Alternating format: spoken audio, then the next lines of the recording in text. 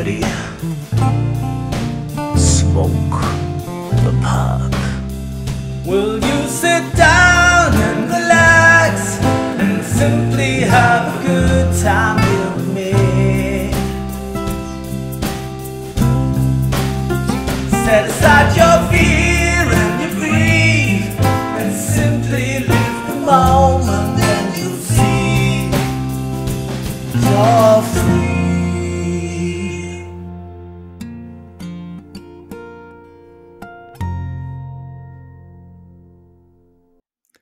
Ja, herzlich willkommen zu Strandkorbgedöns und zur mittlerweile sechsten Sonderepisode in der zweiten Staffel. Und haltet euch fest, wir haben einen ganz besonderen Gast heute dabei. Niemand geringeren als Hans Wiedemann. Hallo Hans, Hallo Tobias. wie geht's dir? Ja, auf ein bisschen nervös, aber ansonsten ganz gut. Okay, ja, so ein bisschen nervös bin ich natürlich auch. Das gehört ja immer so ein bisschen dazu, aber ich denke, wir unterhalten uns hier ganz entspannt und, und es gibt bestimmt sehr, sehr viele Leute, die sich sehr freuen, dass du hier dabei bist heute und ganz gespannt sind auf das, was wir beide so miteinander bereden. Ja, du bist Tabakblender, ne? Seit wann bist du eigentlich Tabakblender? Wie lange machst du das schon? Also ich sag mal, äh, wenn du sagst, ich bin Tabakblender, dann ist es ja mehr äh, ein Hobby von mir. Ich sag Ja. mal, ich weiß gar nicht, ob es den Beruf Tabakblender überhaupt gibt. Also Mhm. ein, ein Lehrberuf wird es bestimmt nicht sein. Aber sei es wie soll, äh, also ich beschäftige mich mit dem Tabakblenden seit 2010. Mhm. Da ist die Idee gereift und habe mich dann entschlossen, einfach mal hier loszulegen, auf gut Deutsch gesagt. Ja, und du hast in dieser Zeit äh, auf jeden Fall einige äh, meiner Favoriten-Tabake mitentwickelt und ich denke, da bin ich nicht der Einzige. Also da sind wirklich hervorragende Werke dabei, finde ich. Und ähm, Pfeif, rauchst du, wie lange rauchst du schon Pfeife insgesamt? Ist das, wie lange bist du so in der Pfeifenszene unterwegs sozusagen? Ich sag mal lange. Also ich sag, ich rauche Pfeife circa seit 45 Jahren. Okay. Und äh, Pfeifenszene, sage ich mal, so in dem Sinne gibt's ja erst seitdem das mit dem Internet, sage ich mal, aufgekommen ist, mit Facebook und sonstige äh, Foren. Vorher war das alles lokal. Mhm. hat seinen Tabakladen gehabt, hat dort eingekauft, kannte dort äh, einige Leute, hat sich ab und an getroffen, äh, auch in den Wirtschaften abends zu Pfeifenstammtischen. Aber das ist ja leider, leider alles Vergangenheit.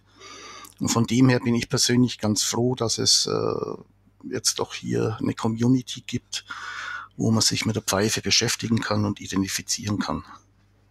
Ja, das stimmt. Ne? Das war früher völlig anders. Klar, wenn man heute so redet von der Pfeifenszene, ist klar, weil es YouTube und Facebook und alles gibt. Aber ich habe ja auch angefangen, so die ersten Pfeifen habe ich geraucht, so vor 30 Jahren etwa oder Ja. nicht ganz 30 Jahren.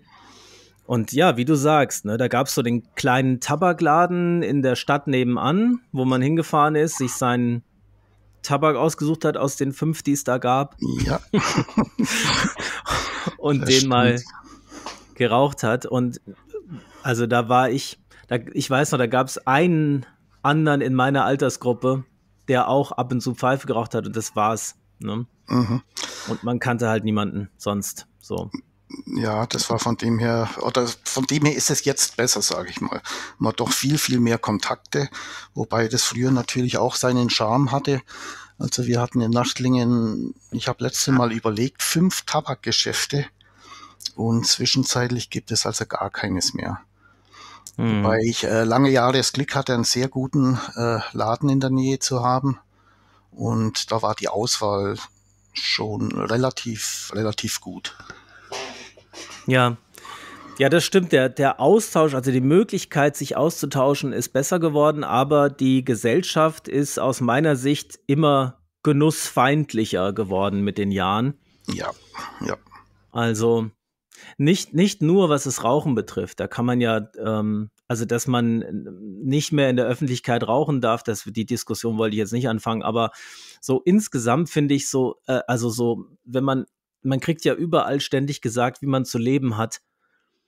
Ähm, Und wenn man alle Ratschläge befolgt, dann muss man leider seine äh, berufliche Stellung kündigen und sich 24 Stunden damit beschäftigen, wie viel Karotten und Knoblauch ja. sehen und man am Tag essen muss, damit alles richtig ist und am besten noch drei Stunden Sport am Tag und ja. Ja, genau. Das ist, das ist leider so. Ja. Es, es durchzieht ja alle Bereiche, alle Lebensbereiche. Ja. Äh, es ist ja wirklich teilweise, der Sinn des Lebens ist äh, die gesunde Haltung oder die, das gesunde Leben und nicht das genussvolle Leben. Das ist teilweise schon schade. Ja.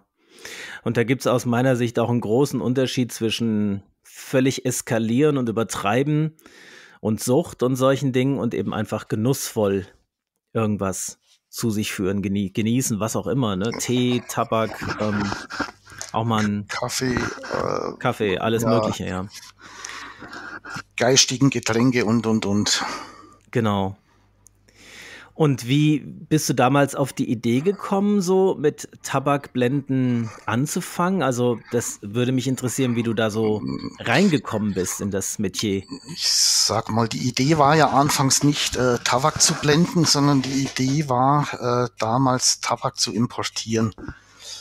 Äh, also ich war damals äh, glühender Fan der Leglen-Tabake, die es aber in Deutschland ja noch gar nicht gab. Mhm. Und außerdem auch, sagen wir, amerikanische Sorten, die gibt's bis dato ja in Deutschland auch nicht, aber wird sich ja demnächst ändern, zumindest im kleinen Rahmen. Und da war die Idee, äh, warum nicht ein Ennerdale Fleek oder ein Full Virginia Fleek nach Deutschland bringen. Die Idee habe ich zu, äh, zusammen mit äh, Calvin Pohler von Co-Pipes gehabt. Das haben wir mal so auf der, ich weiß gar nicht, wie viel die Loma Pfeifenmesse das war, aber da sind wir irgendwie so auf die Idee gekommen, Mensch, vielleicht sollten wir hier mal was versuchen in der Richtung, um einfach das Angebot äh, an Tabak zu verbessern und zu verbreitern.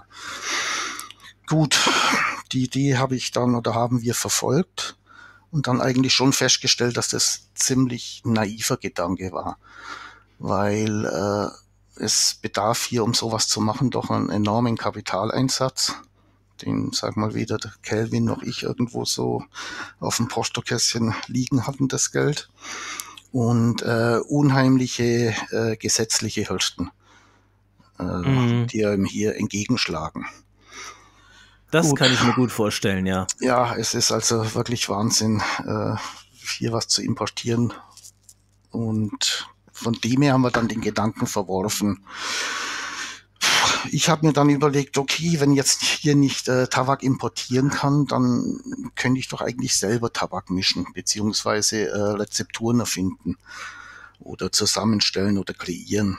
Und mhm. Kelvin hat sich dann daraufhin mir aufs Pfeifen machen verlegt und äh, ist er in dem Bereich wahnsinnig erfolgreich. Und auch zu Recht, sage ich mal. Mhm. Und so ist das Ganze entstanden. Ich, meine, ich habe immer schon gerne äh, bisschen zu Hause, bisschen gemischt, ein bisschen probiert, war immer neugierig, egal äh, wenn es neue Sorten gab, dann musste ich die unbedingt probieren und war von daher schon ein bisschen beleckt im Tabakmischen.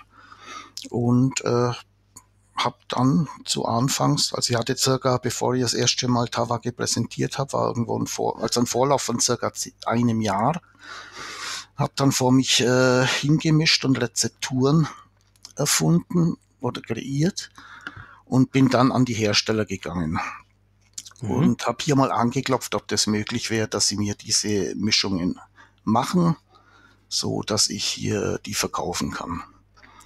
Und eigentlich zu meinem Erstaunen, also ich bin sowohl äh, zu Dunpipe, also DTM gegangen, als auch zu Kohlhase und Kopp. Und bei beiden oder beide Firmen waren eigentlich äh, dem Ganzen positiv gegenübergestanden.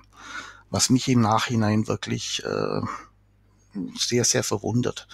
Hier kommt irgendwie ein Newbie und äh, erzählt hier was, er mischt, er hat hier Rezepturen und möchte, dass man diese Tabake mischt. Aber so what, äh, das hat funktioniert. Ich habe die meine Erstrezepturen, das war in Summe 18 Sorten, muss mich überlegen. Ja, 18 Sorten, 6 bei DTM und 12 bei Kohlhase und Kopp. Hab die Rezepturen geschickt und äh, die haben wir dann, äh, die haben wir dann die Tabak entsprechend gemischt und äh, zum Abgleich Muster zukommen lassen. Und so ist das Ganze eigentlich entstanden. Aha. Das war mal das Wichtigste überhaupt, dass äh, hier ein Hersteller mitspielt, weil das ist ja äh, wirklich nicht die Norm, dass das hier so funktioniert. Und äh, danach kam natürlich die ganze Arbeit, die damit noch verbunden ist. Ich brauchte einen Internetauftritt, ich musste Etiketten entwerfen, wir mussten sie drucken lassen oder schauen, wo wir sie drucken können und alles, was damit zusammenhängt. Also ich hatte hier ein Jahr Vorlauf, bevor ich hier die erste Dose öffentlich auf der Loma Pipe Show 2011 dann präsentiert habe. Und wie stelle ich mir das vor, so ein Rezept? Also was reichst du dann da ein bei so einem Tabakhersteller? Ist es dann einfach äh, so, also ich, ich versuche mal so, ich, ich rate mal, wie das aussehen könnte. Also sagst du dann so, 40% Virginia, 20% Burley, der Rest Orient und, und so? Oder wie geht das? Ich sag mal jein. Also das ist ein bisschen zu grob. Also mhm. äh, es ist schon so, je nach Hersteller äh, habe ich das gesamte Rohtabak oder Grundtabaksortiment zu Hause. Weil es gibt ja nicht nur einen Virginia, sondern es sind ja x Sorten Virginia. Ja. Es ja. ist äh, Red Rab, das ist ein, ein, Red Virginia, ein Brown Virginia, mhm. es ist ein Bright Virginia. Also da muss man hier schon genau angeben, was man denn haben möchte. Die haben auch äh, innerbetriebliche Namen, diese äh, Tabake. Und äh, wenn ich einen neuen Blend kreiere, dann muss ich vorher schon festlegen, mit wem will ich das machen. Ja. Weil dies, dann kann ich auch, äh, oder ich muss halt die entsprechenden Grundtage der entsprechenden Firma verwenden. Weil mhm. die sind ja gänzlich unterschiedlich. Virginia ist ja nicht gleich Virginia. Und äh, der erste Schritt dann damals war natürlich, dass ich mir von den Herstellern die Grundtabake habe kommen lassen. Ah, die haben verstehe, ihr, ihr ja. Sortiment nach Hause geschickt und dann habe ich hier mit diesen Tabaken, je nachdem, wer später das produzieren sollte, äh, zu Hause gemischt, verändert, gemischt und, und, und. Das äh, geht ja im Normalfall nicht aufs erste Mal, dass das Ergebnis zufriedenstellend ist und habe dann diese Rezepte entsprechend eingereicht. Und wie viel hast du dann so zu Hause stehen von jeder Sorte? Also zum Beispiel jetzt Bright Virginia oder Red Virginia. Nur mal so, dass ich so ein Gefühl für die Größenordnung kriege. Hast du dann so einen riesigen Raum, wo da alles äh, gelagert ist? Oder? Nein, nein, nein. Ich brauche im Regelfall nicht die Welt. Entschuldigung. Ich habe vielleicht von jeder Sorte irgendwo zwischen 300 und 500 Gramm zu Hause. Okay. Weil wenn ich hier Probemischungen mache, dann äh, geht es ja, sag ich mal, ich fange ganz klein an und mache mal hier so 20 Gramm Probe. Mhm. Ne, weil äh, es kann ja sein, dass du wirklich äh, 10 Proben in die Tonne kippst und sagst, okay, das ist es jetzt irgendwo nicht. Also von dem her sind es immer kleine Mengen, wo ich hier mache. Und auch wenn ich mir Gegenmuster machen lasse, dann bekomme ich von den Herstellern 25 Gramm Muster oder maximal 50 Gramm Muster. Ja wie die halt gerade eben aufgelegt sind. Aber ich kriege da auch nur eine kleine Menge, um zu sagen, okay, passt mit meinem überein. Ja. Also von dem her ist das Ganze schon übersichtlich. Ich sage mal, ich habe einen, ja, einen, großen Karton von Kohlhaas, einen etwas kleineren von DTM. Also es bringt man schon noch in einem Raum unter. Es sind jetzt hier keine 5 Kilo Säcke, die hier pro Sorte äh, rumstehen bei mir. Ja, okay, kann ich mir vorstellen. Ja, aber 300 bis 500 Gramm ist ja auch schon ganz ordentlich. Da, kann man ja schon, ja. da kannst du ordentlich mischen, ja, genau. Kannst auch mhm. einige Fehlversuche dir gönnen. Das reicht also schon eine Weile. Und ähm, kannst du, äh, das finde ich sehr interessant, dass du sagst, es gibt sehr viele verschiedene Virginias und sehr viele, also ich, ich denke auch bei den Orients gibt es verschiedene. Das äh, ist, ist ja auch klar, ist mir eigentlich klar, aber ich habe nie irgendwo ähm, mal so eine genaue Aufstellung gefunden. So, diese verschiedenen Virginias gibt es, diese verschiedenen Burleys gibt es und so. Vielleicht habe ich auch nicht gründlich genug gesucht. Ich könnte mir vorstellen, dass zum Beispiel Ralf das in seinem Blog irgendwo hat. Ähm, aber kannst du ein bisschen darüber erzählen, so welche verschiedenen Sorten es da jeweils gibt oder sprengt das jetzt den Rahmen? Ist es viel zu kompliziert? Also ich sag mal, das ist schon ein ziemlich kompliziertes Thema mhm. und äh, ich sag mal, also wer das auch wirklich weiß, sage ich mal, bei den Tabakfirmen, das, da bin ich mir auch nicht ganz sicher. Also wenn ich hier mit einem äh, Kohlhase Blender spreche oder Tabakmischmeister spreche, äh, der kann mir das im Detail auch nicht sagen.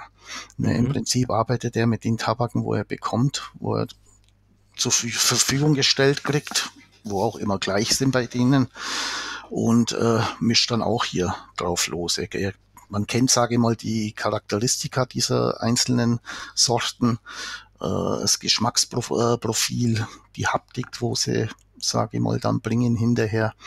Und mit dem arbeite ich eigentlich. Aber dass ich jetzt hier äh, der Tabak-Spezialist, also Einkäuferspezialist oder Sortenspezialist bin, das äh, kann jetzt für mich nicht in Anspruch nehmen. Ah ja, okay. Ich glaube, das ist auch ein Thema, sage ich mal, wo du wahnsinnig viel Erfahrung brauchst und wo du dann wirklich an den Tabakbörsen äh, rumturnen müsstest, um und mit alten Hasen hier, sage ich mal, wahrscheinlich jahrelang lernen müsstest, um das zu rauszukriegen. Okay, ja. Das habe ich mir gedacht, das ist vielleicht ein bisschen viel, um das einfach mal so eben zu erklären. Aber dann, genau, und, und wo würdest du sagen, gibt es die größte Vielfalt? Bei Virginia, bei Orient, bei also, also bei, Latak bei Latakia zum Beispiel denke ich nicht, aber. Ja. Nee, also ich sage mal, in meinem Bereich ist die größte Vielfalt Virginia. Mhm. Das sind, sage ich mal, die verschiedenen Farbgraduierungen, ob es halt Rapt ist oder ein Loose Cut ist. Äh, also da gibt es die meisten äh, verschiedenen Grundsorten. Ja. Ist ja auch, sage ich mal, die Haupt-Tabak-Grundsorte äh, im Regelfall. Ja. Also mir ist einfach bei zwei Tabaksorten aufgefallen, ähm, dass sie am unterschiedlichsten schmecken können. Also das äh, einmal der Virginia, da gibt es, es gibt reine Virginias, die finde ich für mich total langweilig und lau. Da kommt gar nichts richtig rüber. Und dann ja. gibt es so, die sind so richtig kräftig und ähm, da, da, da frage ich mich, ist das wirklich Virginia? Manchmal denke ich, das ist eher Burley, ne? Also da gibt es so mhm. zum Beispiel ähm, Pfeifenhuber hatte so einen gemacht, ich, ich weiß gar nicht mehr genau, jetzt müsste ich nachgucken, wie der heißt. Es ist ähm, St. Louis? Nee, St. Louis ist der blaue. Der blaue äh, Fällt ja. mir gerade nicht ein, aber es ist ein Virginia mhm. Flake mhm. und den hatte ich probiert, ohne vorher zu gucken, was es ist. Und dachte, oh, das ist ein Burley. Ne? Das ist hauptsächlich Burley, ein bisschen Virginia. Und dann habe ich mich total gewundert, dass da nur Virginia drin war. Mhm. Und die andere Tabaksorte, wo mir das so geht, ist Orient. Mhm. Also es gibt sehr viele Mischungen mit, mit, mit einem großen Orientanteil und manche davon finde ich überhaupt nicht gut für mich, also richtig eklig. Und mhm. manche finde ich so blumig, würzig, intensiv, interessant. Unter anderem äh, der Nebari. Mhm. ja, das ist einer, also den, der sticht raus für mich. Das ist so ein toller Blend. Ähm, dieser, dieser Orient, der da drin verwendet wird, der ist genau mein Ding. Also das ist genau mhm. so, wie ich mir Orient vorstelle. Ja, aber genau. Also da, das finde ich die beiden, äh, die Burley ist irgendwie immer Burley, ne? Also der schmeckt irgendwie immer nach Burley, finde ich. Da gibt es nicht so die großen Unterschiede. Mhm. Also man muss eins natürlich schon wissen, ich sag mal, bei, dies, äh, bei diesen, ich sage jetzt nicht Rottabaken, sondern Grundtabaken, mhm. die haben ja alle schon, sage ich mal, ein gewisses Casing auch. Also ja. das heißt, hier ist schon mal äh, firmenspezifisches Grundcasing äh, mit allen Chemikalien, die man hier denn so braucht, äh, aufgebracht im Regelfall. Äh, das macht, äh, verstärkt natürlich den Geschmack. Der eine Tabak nimmt es mehr an, der andere nicht ganz so arg. Und dann natürlich schon mal die Vorverarbeitung. Wenn ich hier irgendeinen Bright Virginia habe äh, als Loose Cut, also wo keine Pressung und nichts war, dann ist der natürlich vom Geschmack her ja, ich will es nicht negativ sagen, aber er ist einfach deutlich fader, als wenn ich hier einen äh, Red Virginia habe, der von Haus aus, sage ich mal, vielleicht schon ein bisschen mehr Nikotin äh, bringt und dort auch von Haus aus schon mal äh, mehr Charakter hat und äh, der dann auch schon gepresst ist und als Ready Rapt wieder aufgearbeitet ist, der bringt natürlich äh, deutlich mehr Geschmack rüber. Eine, eine schönere Süße im Regelfall und auch deutlich mehr Charakterzüge die man dem Virginia zuschreibt oder die man mit Virginia verbindet. Okay, ja. Und ich sag, ja. Entschuldigung, habt ihr Nee, nee. unterbrochen? Kein Problem. Alles Ja, gut. Und zum Orient muss man sagen, äh, also ich persönlich finde Orient ein bisschen problematisch. Ich meine, ihr habt es auch geschrieben im Intro vom Nebari. Äh, also ich persönlich bin jetzt kein wahnsinnig großer Orient-Fan. Einfach Mhm. deswegen, weil, weil ich in Orient, wenn ich den jetzt pur rauche, oft als etwas harsch und äh, trocken im Rauch empfinde und, und etwas bissig. Deswegen ist eigentlich der Nebari auch so entstanden oder so geworden, wie er jetzt ist, weil ich dieses Geschmacksgefühl äh, etwas unterdrücken wollte, ohne die Charak- Charakteristika, also diese Blumigkeit oder gut, äh, das Wort ätherisch ist natürlich auch schon ausgelutscht, aber es, es sagt schon ein bisschen irgendwas in der Richtung. Aber sagen wir mal Blumigkeit oder Leichtigkeit äh, gepaart mit der Würze von einem Orient. Äh, da brauche ich nach meinem Geschmack äh, eine andere Komponente, die die, ein bisschen, die, das, die den Orient ein bisschen runterdämpft, ohne diese Blumigkeit zu nehmen, aber wo man einfach das Harsche etwas nimmt. Also ich sag mal eine, eine saftige Komponente. Beim Nebari Mhm. ist in dem Fall, sage ich mal, Burley, der einfach äh, eine gewisse Süße hat, eine, eine gewisse Stärke hat äh, und auch Saftigkeit hat, die das von mir empfundene Trockenheitsgefühl vom Orient äh, etwas mildert. Und äh, ich Mhm. denke, beim Nebari ist es eigentlich äh, schön zu sehen oder zu schmecken. Man hat hier schon die Blumigkeit des Orient, aber äh, der Tabak ist alles andere als harsch und bissig. Ah ja, dann, dann liegt es nicht an dem Orient, der da drin verwendet wird, sondern an der richtigen, am richtigen Mischungsverhältnis einfach wahrscheinlich. Ähm, ich sag mal, meistens macht es das richtige Mischungsverhältnis. Mhm. Ich sag mal, du hast vorhin gesagt, Orient, da gibt's ja x äh, Provenienzen und Untersorten, die es eigentlich auf dem normalen, sag mal, Massenmarkt als solches gar nicht mehr gibt. Sondern wenn, äh, sag ich mal, jetzt eine Firma, ich sage jetzt mal Kohlhase Orient einkauft, dann sind es Orient-Mischungen schon.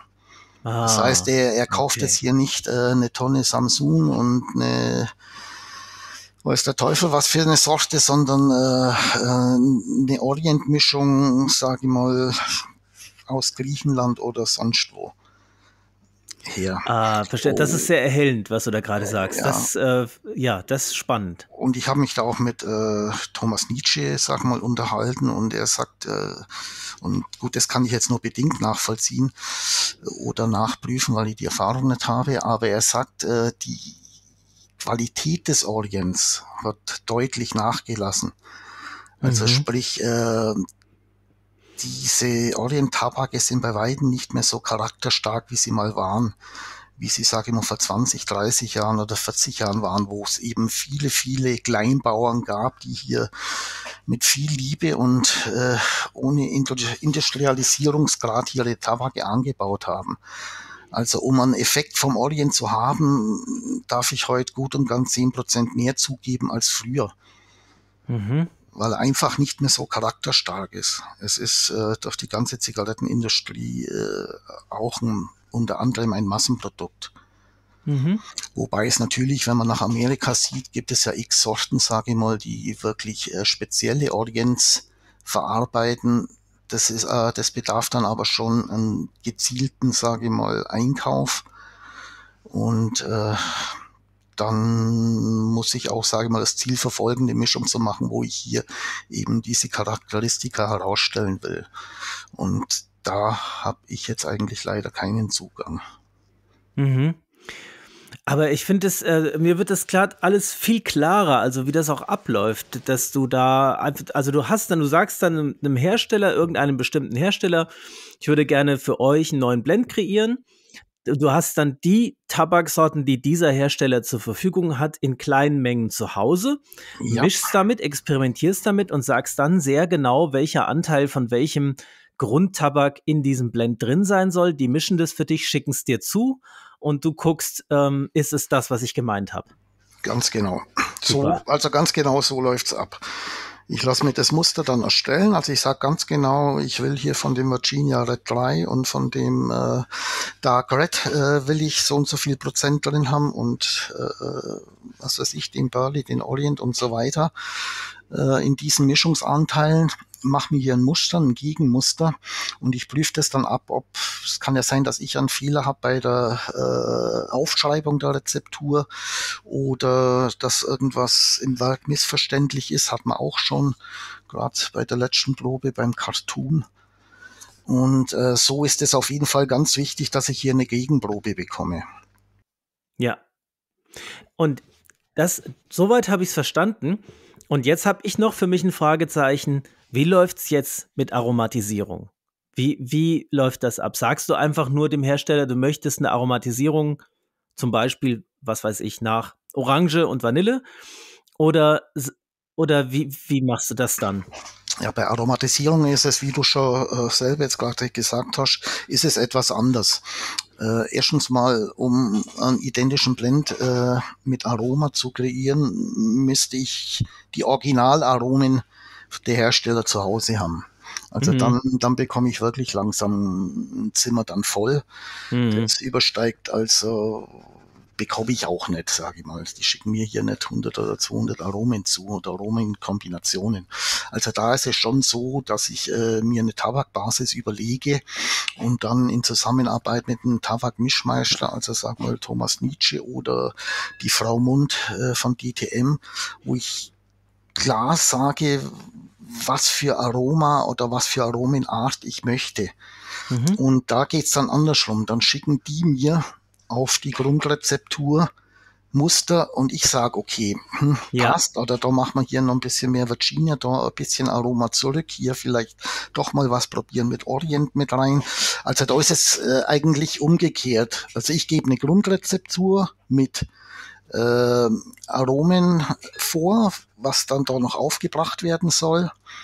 Auch die Aromenstärke, also jetzt nicht in Milligramm, sondern dass ich sage, okay, ich will das nur hintergründig haben oder ich möchte es doch äh, vordergründig als Hauptpunkt äh, in der Mischung haben. Und da machen die mir Muster und schicken das und sagen, hier hast du deine Rezeptur mit dem und dem äh, Aromen, mit der und der Aromenkombination. Und dann teste ich das zu Hause und sage dann, okay, geht, geht nicht, müssen wir uns was überlegen, könnte man noch das oder das mit rein äh, nehmen. Und da bin ich ehrlich gesagt dann auch auf die Hilfe der Hersteller angewiesen, weil ich mit Aromen als solches, das gibt ja so eine Masse, also hier nicht hundertprozentig äh, mir zutraue zu sagen, okay, du mischt jetzt da hier noch ein bisschen von dem, ein bisschen von dem, ein bisschen von dem. Also da ist es äh, eine engere Zusammenarbeit mit den Herstellern. Mhm. Ja, das dachte ich mir, dass das so läuft, weil ich kann mir auch vorstellen, das ist schwierig so zu Hause im Hobbykeller umzusetzen. Also so ja. eine kleine Menge dann ja. zu aromatisieren. Also wie, wie denn mit einer Sprühflasche oder, ja, ne? also das geht, das geht ja gar nicht. Ne? Ja, also muss, muss wahrscheinlich mit der Pipette arbeiten oder ja. sonst irgendwas. Ja, da muss auch die Verdünnung und das alles passen. Äh, mhm. Feuchtigkeitsgrad und so weiter. Also das überlasse ich dann, sage ich mal, den Profis, die das ja. wirklich äh, täglich machen. Aber ich sag mal, entscheidend ist ja bei einer Mischung ich sag mal auch bei einer, oder gerade bei einer aromatisierten Mischung, die Grundidee.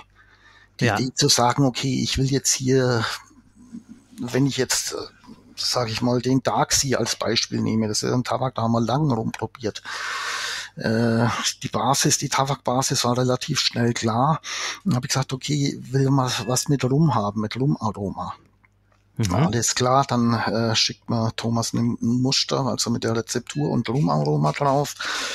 Äh, es war ein schöner Tabak, aber halt auch nicht mehr. Er war schön, aber äh, irgendwas hat an dem Tabak gefehlt. Und äh, wir haben dann wirklich rum, rumprobiert und sind dann auf Anis gekommen und gesagt, Mensch, lass uns einen kleinen, einen kleinen Pups Anis mit reingeben. Äh, der macht es vielleicht ein bisschen frischer. Und äh, das ist jetzt wirklich absolut erstaunlich, also wo eigentlich keiner von uns so gerechnet hat, weder Thomas noch ich. Äh, der kleine Spritzer Anis ist, wirkt bei dem Tabak wie so, wie so, wie so ein Booster. Das genau. ist wie wenn, wenn man hier beim Porsche, wenn, wenn der Turbo sich einschaltet. Ja. Es ist unglaublich und außer sage jetzt mal, guten Tabak ist nach meiner Meinung, ist, Geschmäcker sind ja verschieden, nach meiner Meinung ein sehr guter, ausgefeilter Blend gewurschten.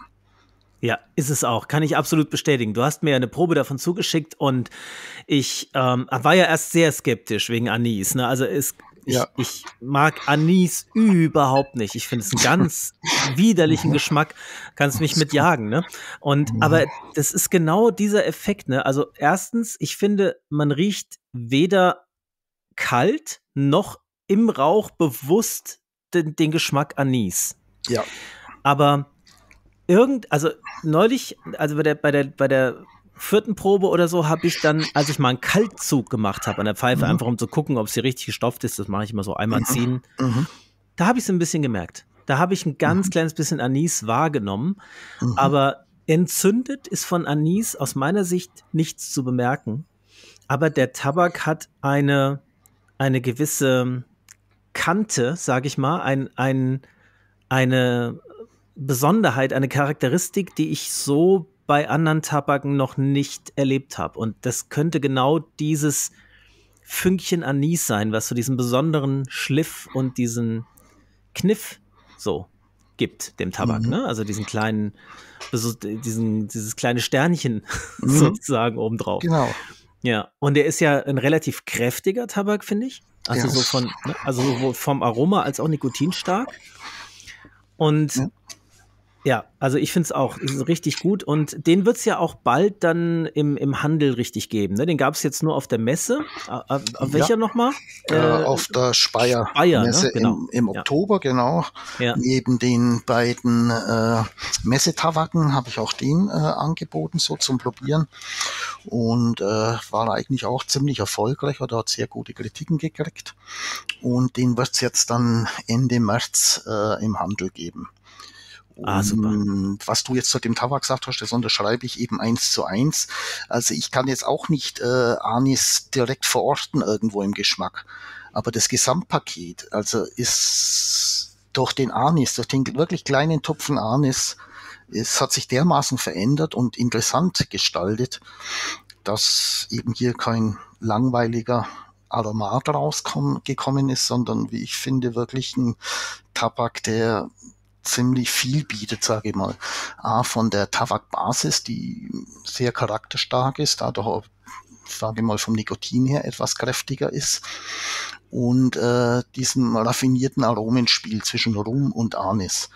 Also es ist schon, finde ich, ein Tabak, wo auch äh, eingefleischte Naturraucher vielleicht ansprechen kann, äh, weil es eben, weil er eben wunderschön ausbalanciert ist und doch die kräftige Tabakbasis einfach schon das bringt, was viele suchen.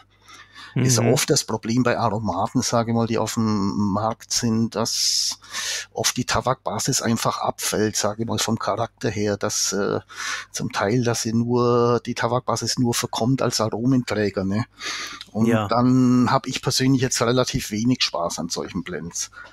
Weil wenn ich Erdbeere will und nur Erdbeere, dann esse ich eine Erdbeere. Genau. Ich, ich will ja, ich will ja den, den Tabak auch, das Zusammenspiel möchte ich ja haben. Ja, das finde ich auch das Problem. Also bei den meisten Aromaten, die es so gibt, ich äh, mache gerade so ein bisschen so eine Transformation durch. Ich entdecke gerade ein paar Aromaten, die mir ähm, richtig, richtig gut gefallen.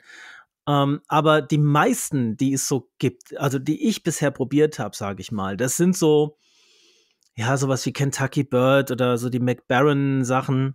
Mhm. Das, das, ist einfach so süße, warme Luft, die mhm. so ein mhm. bisschen nach Vanille oder undefinierbar nach irgendwas Süßlichem, Künstlichem schmeckt, ohne so richtig, ja, präsent, kräftig, interessant zu sein.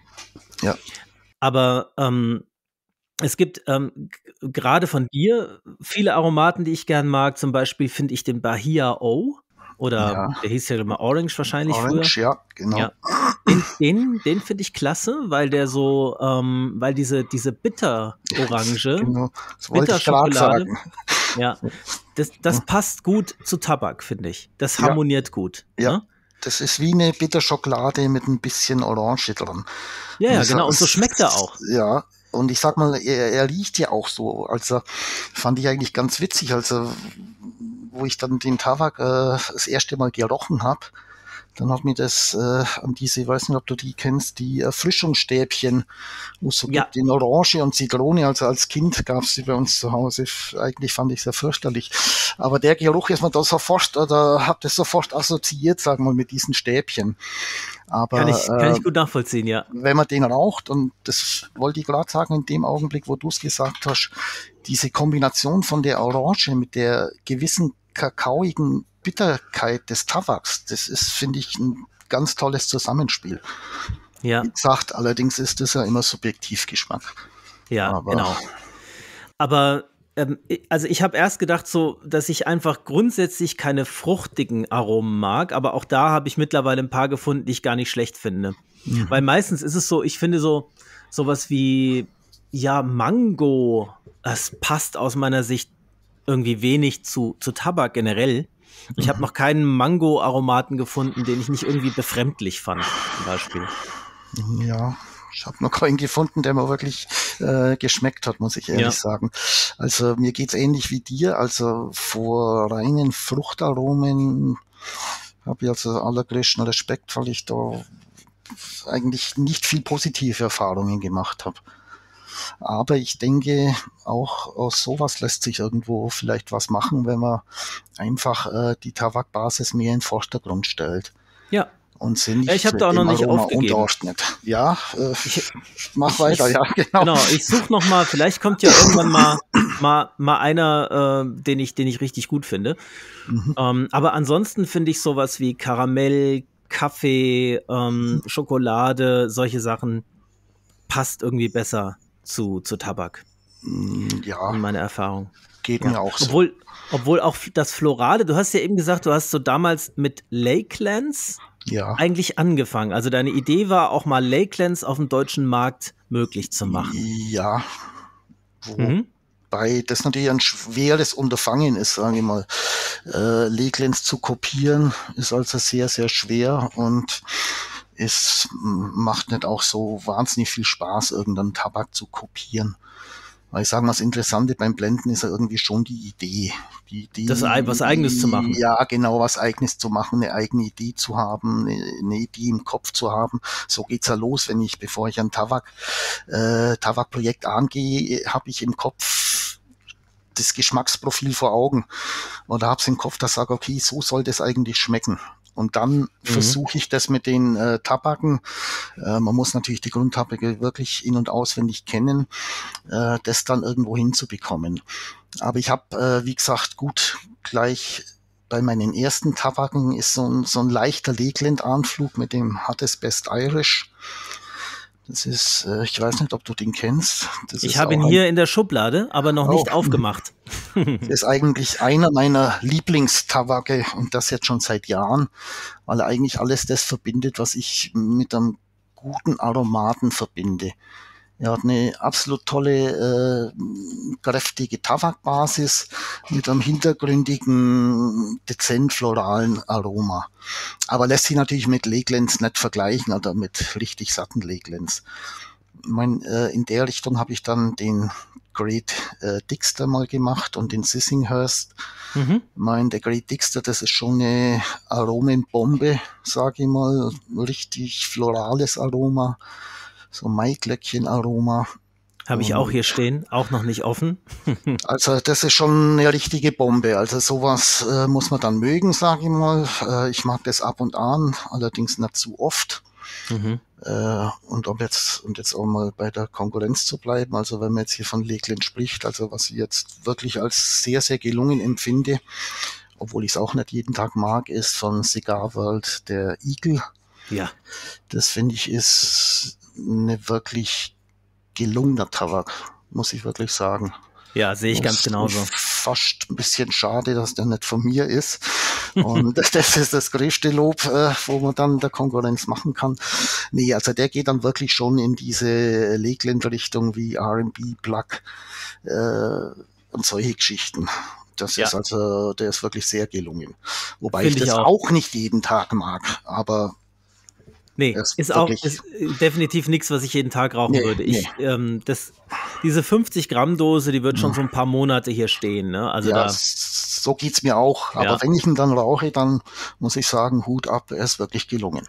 Ja, ja, genau. Ein Sissinghurst kenne ich, den finde ich sehr, sehr gut. Mhm.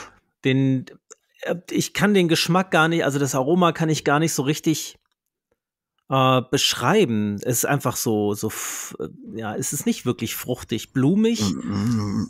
floral, frisch, süßlich. So, Ja. ne? aber sehr präsent. Und es ist noch deutlich Tabak zu spüren im Ja, Geschmack. Also, das ist jetzt, sage ich mal, beim Great Dixter ist das natürlich wesentlich extremer. Da Ja. steht also wirklich das Aroma im Vordergrund und wirklich äh, satt, blumig, floral. Wobei äh, beim Great Dixter die Grundtabake etwas kräftiger sind wie beim Sissinghurst. okay, Aber ja, da werde ich es- aber neugierig. Ja, Wenn es schlecht läuft, mache ich ihn äh, heute noch auf. it, verflucht mich nicht. Love it or hate it. Also so, so ein Zwischending gibt's da, glaube ich, nicht so. Ja, mal gucken, ich habe ihn ja hier. Ich kann ihn ja Ja. jederzeit aufmachen, das ist Ja. das Schöne. Okay. Ja. Also ich werde da einfach wahnsinnig neidisch, wenn ich dir so zuhöre. Ich hätte an genau sowas hätte ich so einen Spaß, ja, das würde mir so einen Spaß machen, so Tabaks zu blenden, zu äh, solche Rezepte zu machen. Das, also ich, also ich finde es ich find's toll und du, du machst es extrem gut, finde ich. Aber ich werde so ein bisschen neidisch, wenn ich Dankeschön. ehrlich bin. Danke.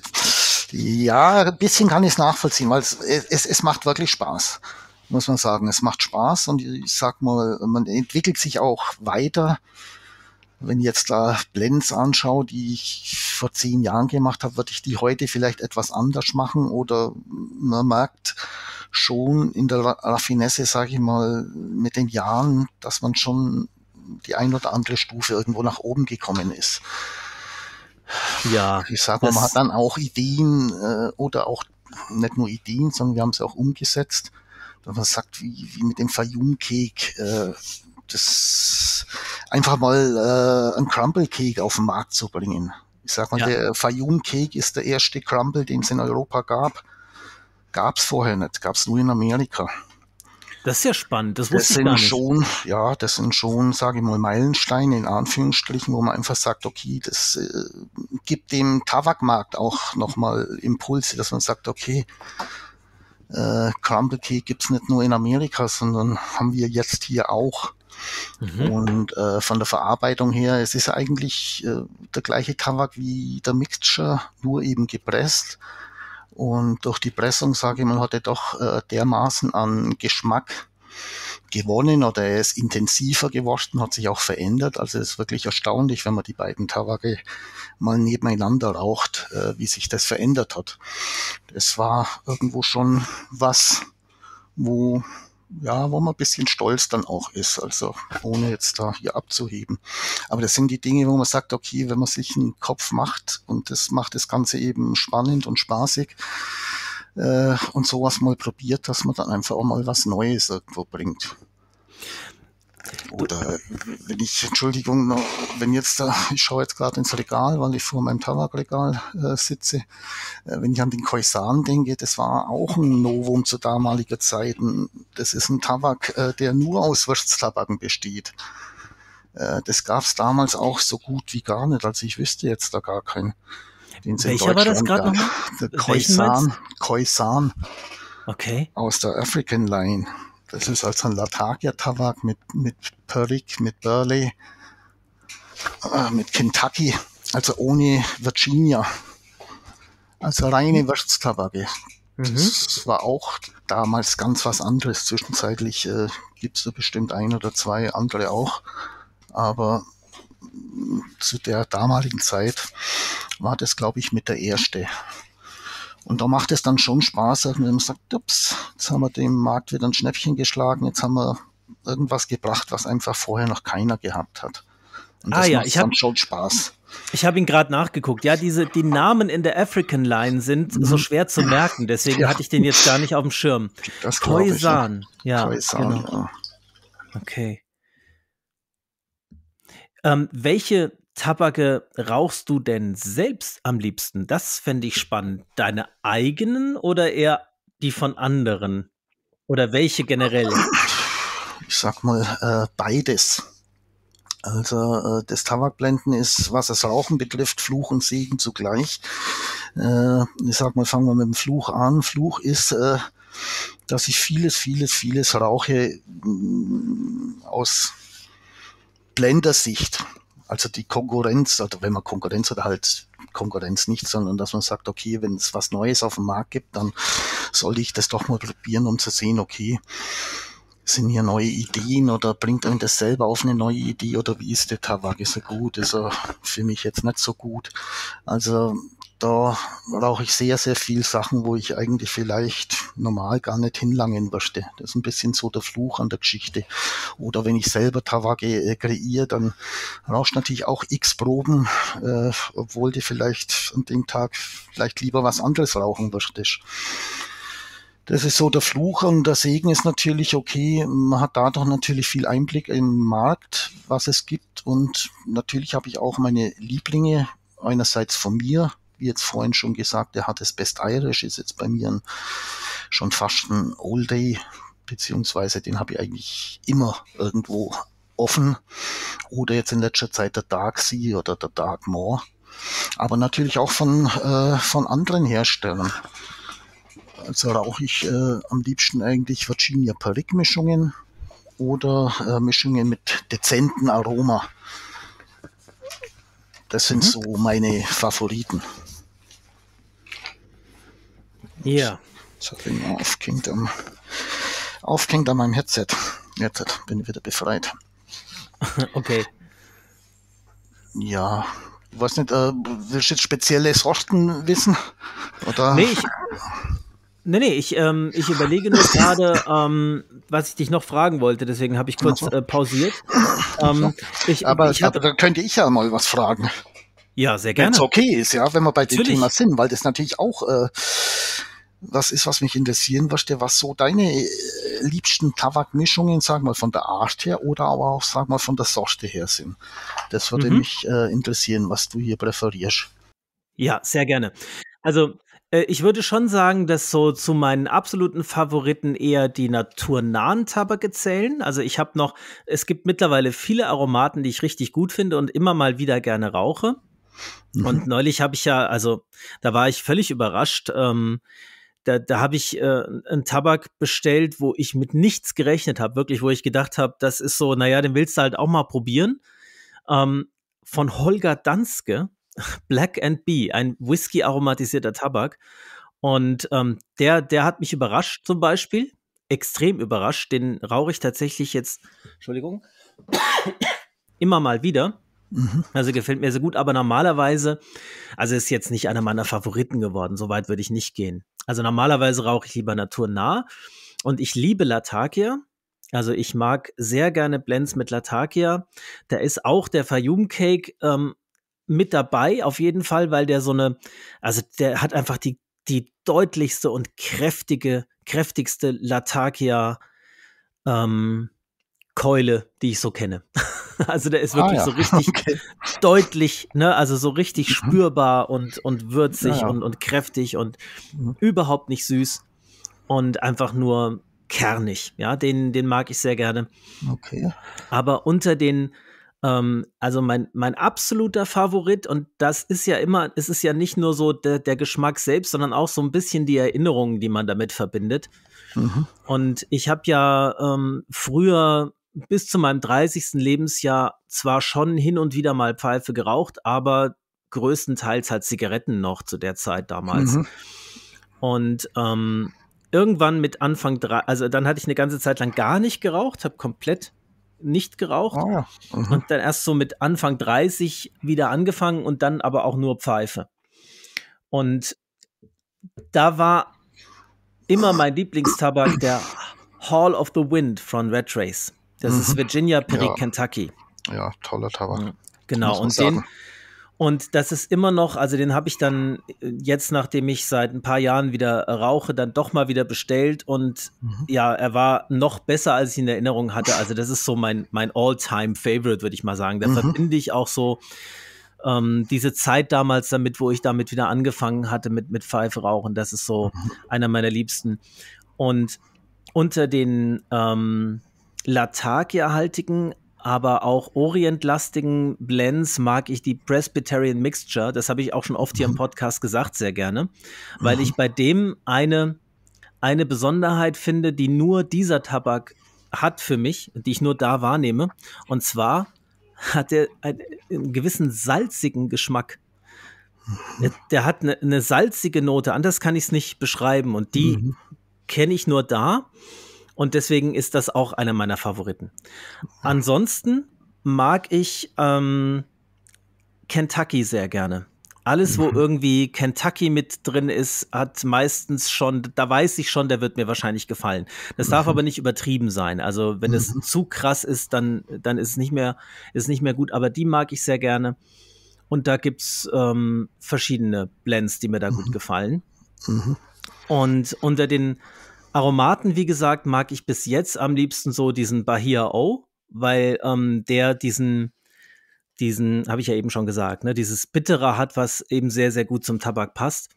Und ja, den Igel, da, da gehe ich äh, mit dir überein. Das ist auch, finde ich, ein Meisterwerk. Also dieses Patchouli, ich hatte da große Zweifel, dass das irgendwas irgendwie gut sein kann, weil ich den Geruch von Patchouli eigentlich nicht besonders mag. Ja, Also- dann ist es, ist es schon erstaunlich. Ja, eigentlich, sagen, eigentlich ja. mag ich diesen Geruch. Ich würde mir den jetzt nicht aufsprühen oder irgendwo ähm, ne, ins, ins Auto tun oder so als Autoaroma. Aber, aber im Tabak passt es einfach richtig gut.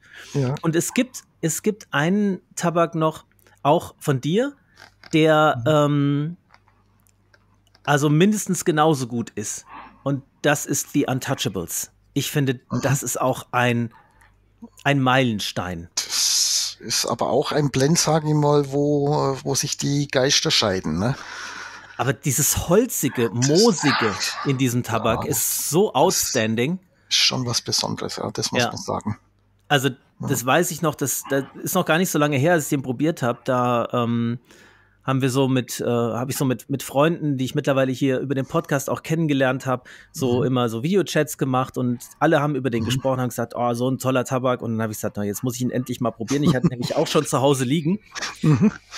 Und ich habe diesen Tabak auf einen Schlag weggeraucht. Also ich habe einfach nichts mehr geraucht, außer die Untouchables, bis die 50 Gramm Dose leer war. Okay, das ist das größte Also- Lob, sage ich Ja, mal. also und das, das wäre mir mit vielen anderen Tabaken nicht gelungen. Da hätte ich irgendwann gesagt, na jetzt muss mal wieder was anderes her. Aber Mhm. da war es kein Problem. Also das war Ja. wirklich ein toller Tabak, ja.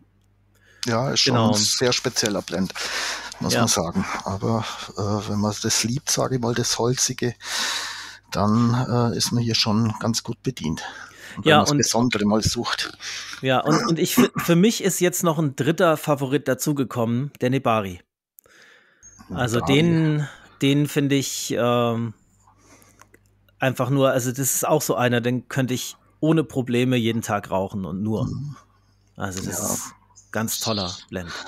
Ja, der ist, es ist eigentlich ein relativ einfacher Blend, äh, muss man sagen, von der Zusammensetzung her. Aber ich glaube, und da bin ich eigentlich auch ganz happy, äh, dass man bei dem Blend eben das gelungen ist, was ich vorhin im Zusammenhang mit Orient angesprochen habe.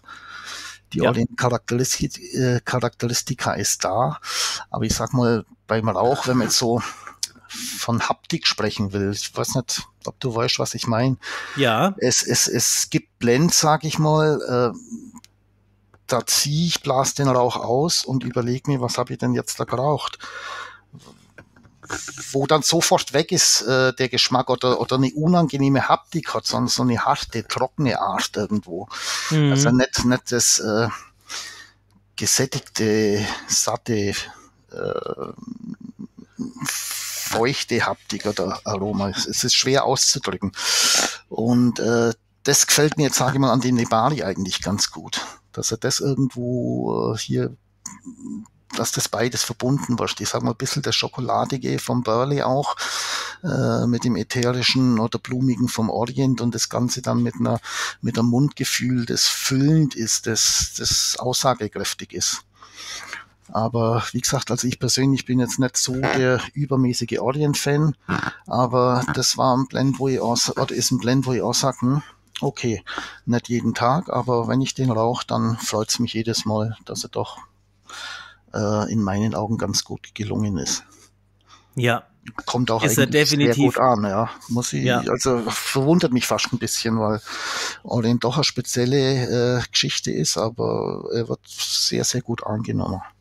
Ja, und wenn wir so über meine Favoriten sprechen, dann finde ich, die habe ich zwar lange nicht geraucht, aber die muss ich in dem Atemzug auch nennen und das sind Peterson Tabake, die Early Morning Pipe zum Beispiel, also Mhm. einfach ein Klassiker. Ja, Ja, also den, der, das äh, würde ich auch jeder, würde ich nie Nein zu sagen. Ja, Absolut. Ähm, auch der Nightcap, ist ein, das sind tolle Blends, finde ich. Ja, ja, auf jeden Fall. Sag mal, das ist, wenn man so die Reihe durchgeht, das sind schon Meilensteine auch, Ja.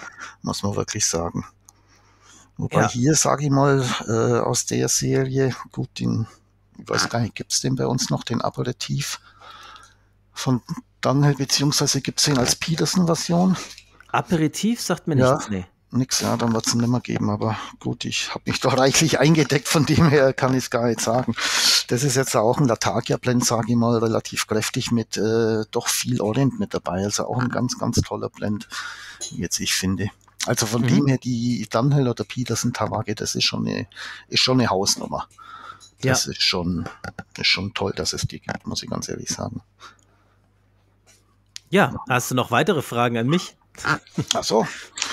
Oder Fragen? Ja, du, ja, doch, ihr habt schon noch Fragen eigentlich.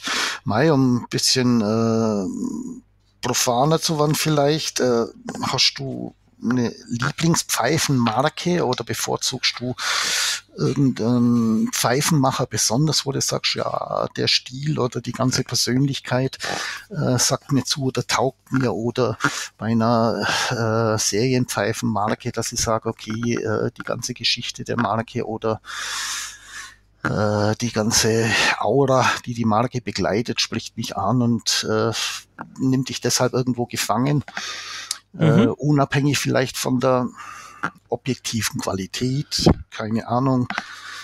Äh, Ja, also das das ist- bei dir?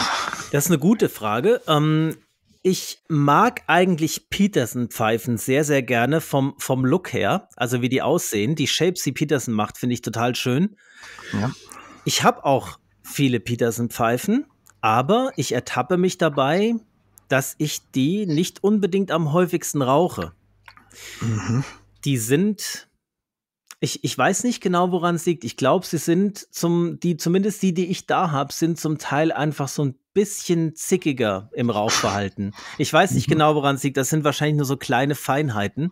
Mhm. Ähm, aber ansonsten so die Shapes, gerade diese Rhodesian Shapes, die die machen und diese Ja. Sherlock Holmes Reihe und so, finde ich, finde ich richtig urig und charakterstark. Also das Ja. mag ich sehr gerne. Ja. Ansonsten, ansonsten mag ich eine Marke, die es leider nicht mehr gibt oder wo es nur noch Reste von gibt, wahnsinnig gerne und das ist Stanwell. Mhm. Weil Stanwell macht so, so Pfeifen gerne so, auch so Shapes, wo die, die Wand einfach so richtig dick ist von der Brennkammer, also wo der Pfeifenkopf einfach so richtig füllig ist und der so richtig schön voluminös in der Hand liegt. Das, also die Mhm. 95er und die 11er, das habe ich zum Beispiel hier. Die mag ich sehr Mhm. gerne. Und ähm, vom Rauchverhalten her und auch so von den Shapes her finde ich halt auch Savinelli sehr, sehr schön. Da habe ich auch ganz viele von, Mhm. Okay. von Savinelli. Von Mhm. den Pfeifenbauern muss ich sagen, da kenne ich noch nicht genug. Da bin ich noch am Entdecken. Da freue ich mich auf Mhm. die Pfeifenmesse am Samstag. Da werde ich noch mehr Leute kennenlernen. Ach, bist du, bist du in Stuttgart, oder? Ja, Ah, ich hab's vor. gucken. Wenn nicht noch Ich- irgendwie Corona zuschlägt, dann bin ich da. Ja, ich hab's äh, ehrlich gesagt auch vor. Also wenn jetzt nicht noch irgendwas dazwischen kommt, dann äh, habe ich's auch vor. Dann äh, ja, lernen wir uns vielleicht persönlich kennen. Auch das wäre ja schön. Das wär Dann ganz nett, uns ja. mal live begegnen. Ja, genau. genau. Ja, also da, da werde ich dann noch äh, andere Leute kennenlernen. Alle, die ich bis jetzt kennengelernt habe, finde ich so Mhm. gut, dass ich nicht sagen kann, wen ich von denen besser finde als den anderen. Das finde ich schwierig. Mhm. Mhm. Also Roland Kirsch, der war ja auch mal hier Gast und wir haben Ja. uns ganz wunderbar unterhalten und ich fand den ganzen Kontakt oder finde den Kontakt mit Roland auch nach wie vor total entspannt und, und angenehm. Ich finde ihn als Mensch unheimlich sympathisch Ja. und ähm, er hat mir eine Pfeife gebaut, mit der ich mehr als zufrieden bin. Also Mhm. ähm, wunder wunderschön.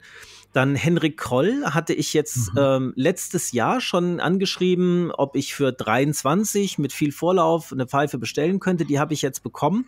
Mhm. Ähm, die, die ist gerade bei ähm, Birgit, das ist die ähm, Frau, die immer die Fotos für den Podcast macht. Die will die erstmal ablichten, solange sie noch neu ist. Mhm. Und dann freue ich mich drauf, die einzurauchen. Also wunderschöne Maserung, ganz, ganz tolles Teil. So eine Band Dublin hat er mir gemacht. Wunderschön. Mhm. Ähm, Christian Ruetz aus äh, Österreich mhm. macht wunderschöne Pfeifen, finde ich. Ähm, habe ich auch schon einen Auftrag gegeben, sozusagen, freue ich mich sehr drauf, wenn die kommt. Habe ich auch so ein bisschen Kontakt mit gehabt, auch ein sehr mhm. sympathischer und angenehmer Mensch. Und mhm. meine erste von, ähm, von einem, also keine Serienpfeife, sondern von einem Pfeifenbauer gemachte war von Tobias Kaffel, da habe ich zwei von. Ah, ja. Mhm. Ähm, auch ein sehr sympathischer Kerl, total angenehmer Kontakt. Ich habe nur den Fehler gemacht, ich habe beide ohne Filter bestellt, weil ich zu dem Zeitpunkt irgendwie dachte, vielleicht könnte das auch was für mich sein. Und dadurch landen sie relativ selten in meiner Hand, weil ich doch so. nicht so, ich merke einfach immer mehr so, ohne Filter ist nicht so ganz meins. Ah ja, okay, dann, ja. das ist natürlich dann schade, sage ich mal. Ja, aber sie sind wunderschön und ich bin trotzdem froh, dass ich sie habe und dass sie hier stehen, also das ist in Ordnung. Ich habe eine Mortar und eine Prince, ja. ähm, eine Straight Prince mit einer Applikation aus Mammutelfenbein. Auch ah, sehr spannend, Schön. ja. Mhm. Wunderschön, aber halt leider ohne Filter. Das habe ich halt nicht bedacht damals. Dass das ja, das ist dann schade ein bisschen. Ja. Okay. Aber vielleicht frage ich ja mhm. Tobias Kaffel irgendwann mal, ob er noch mehr, mir noch mal eine mit Filter macht. Dann ja. habe ich auch eine von ja. ihm, die ich regelmäßig rauchen kann. Ja, von Tobias kriege ich jetzt auch meine erste Pfeife, sage ich mal. Die schickt er jetzt am Montag weg. Und äh, ich habe den Tobias ja in Speyer kennengelernt. Und wie du sagst, ein ganz netter, patenter Typ. Ja. Von dem her, ja, freue ich mich auf die Pfeife. Ist eine Mordstab-Billard mit, Bam mit Bambusholm. Mhm. Und ja, da freue ich mich auch schon riesig drauf. Ja. Ja, mit Bambus arbeitet er ganz gerne, ne? Ja, genau. Ja. Und äh, ja, schaut echt toll aus auf die Bilder. Also Ist die habe so ich bei ihm bestellt, sage ich mal, weil ich habe eine ähnliche, hat er mal vorgestellt und die war mir so von der Form her, war es toll aber sie war mir etwas zu groß. Und dann habe ich da angeschrieben, ob er mir sowas in der Art machen könnte, aber eben ein bisschen kleiner. Und er hat jetzt hier ein paar Wochen lang, sage ich mal, war Funkstille.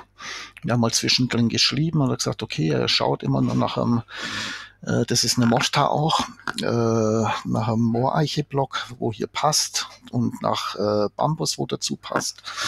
Und jetzt hat er es gefunden und es ist also auf den Bildern eine wunderschöne Pfeife und da freue ich mich auch schon riesig drauf, die dann auch gleich in Gebrauch zu nehmen. Ja, und ist das so dein Shape-Billard? Magst du das äh, am, am, liebsten so? Eigentlich nicht, nee. Mein, ah. Also an und für sich nicht, aber mir hat es mit dem Bambus äh, wahnsinnig gut gefallen und ich habe eigentlich schon lange keine Billard mehr gekauft. Also sag mal, meine Lieblingsshapes sind äh, entweder Dublin, da die mhm. verschiedensten mhm. äh, Variationen, oder ein Pot mag ich auch wahnsinnig gern. Das sind so meine Shapes. Also grundsätzlich bin ich so mehr der Fan klassischer Pfeifenformen und das sind so meine persönlichen Favoriten, wo ich auch, glaube am meisten von habe. Mhm. Ich mag, ich glaube, wenn ich mich festlegen müsste, was mein äh, Lieblingsshape ist, dann wäre dieses äh, so Band Rhodesian. Mhm. Ja, das ich auch, ja. Oder Bulldog. Also Bulldog, diese, das ist, das sind beiden. Auch, ja, da schließe ich mir an. Bulldog schließe ich mir auch eindeutig an. Also ein ganz tolles Shape. Mhm. Und dann bin ich auch schon wieder bei äh, Peterson, sage ich mal.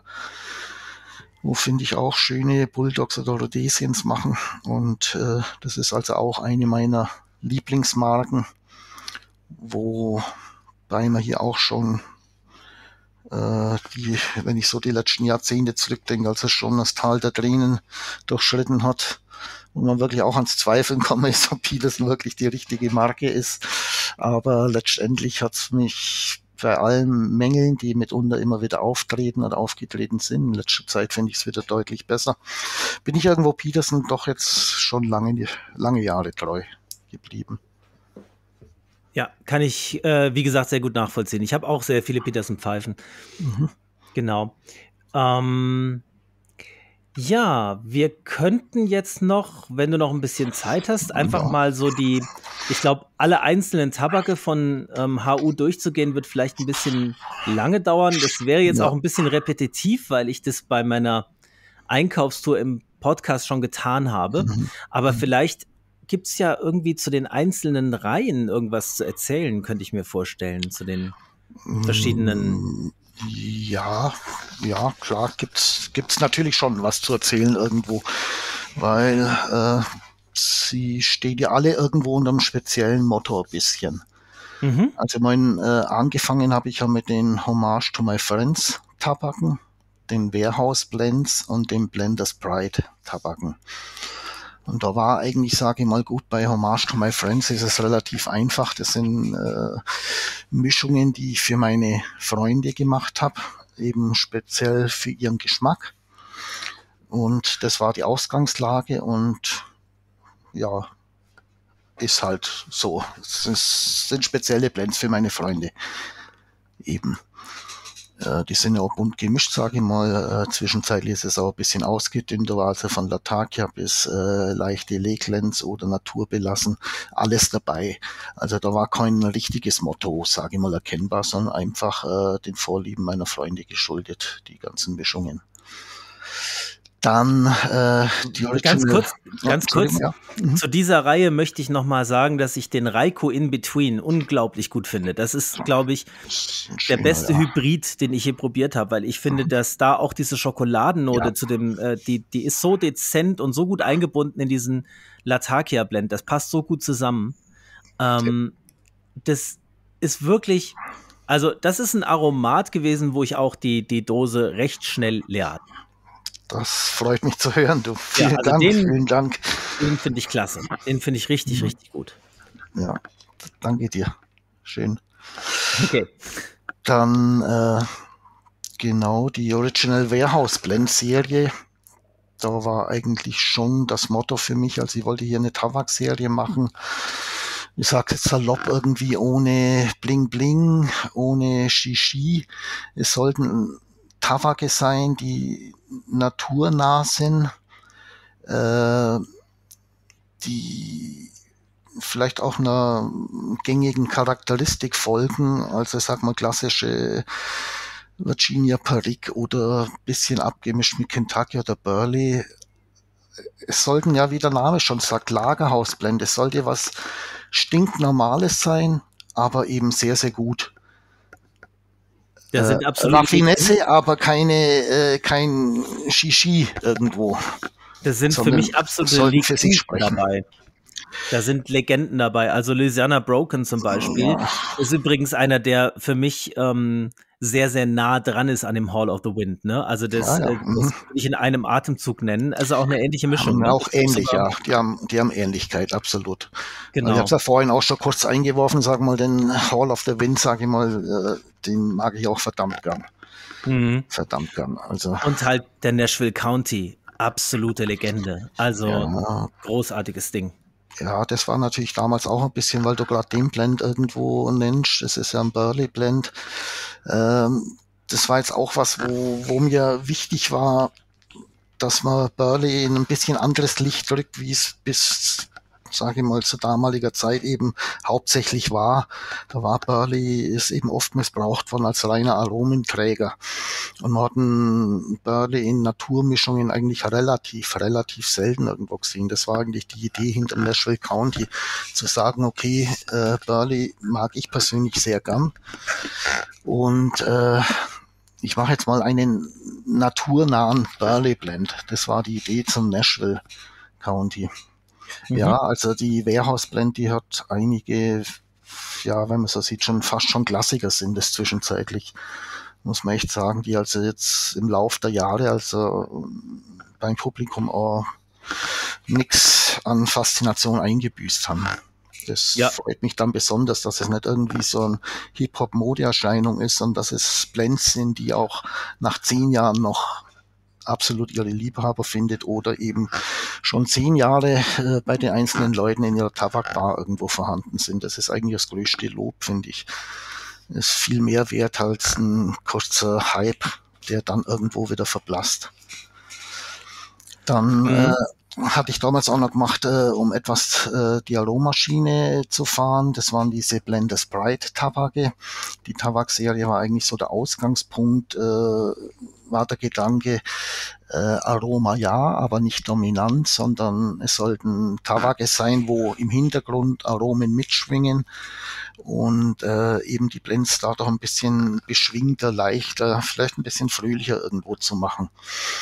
Das ist natürlich auch ein Genre, wo, wo, wo begrenzt Liebhaber hat, weil viele sagen, okay, ich möchte nur Natur oder ich will hier eine richtige Aromabombe.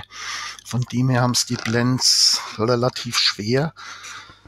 Sie haben ihre Liebhaber irgendwo, aber das Ganze ist halt begrenzt. Aber trotzdem trenne ich mich ungern von solchen Blends, nur weil ich sage, okay, aus rein wirtschaftlichem Interesse müsste ich vielleicht den einen oder anderen Blend hier einstampfen, aber äh, dem wirtschaftlichen Druck bin ich Gott sei Dank nicht ausgesetzt, sondern ich kann das handhaben, wie ich möchte.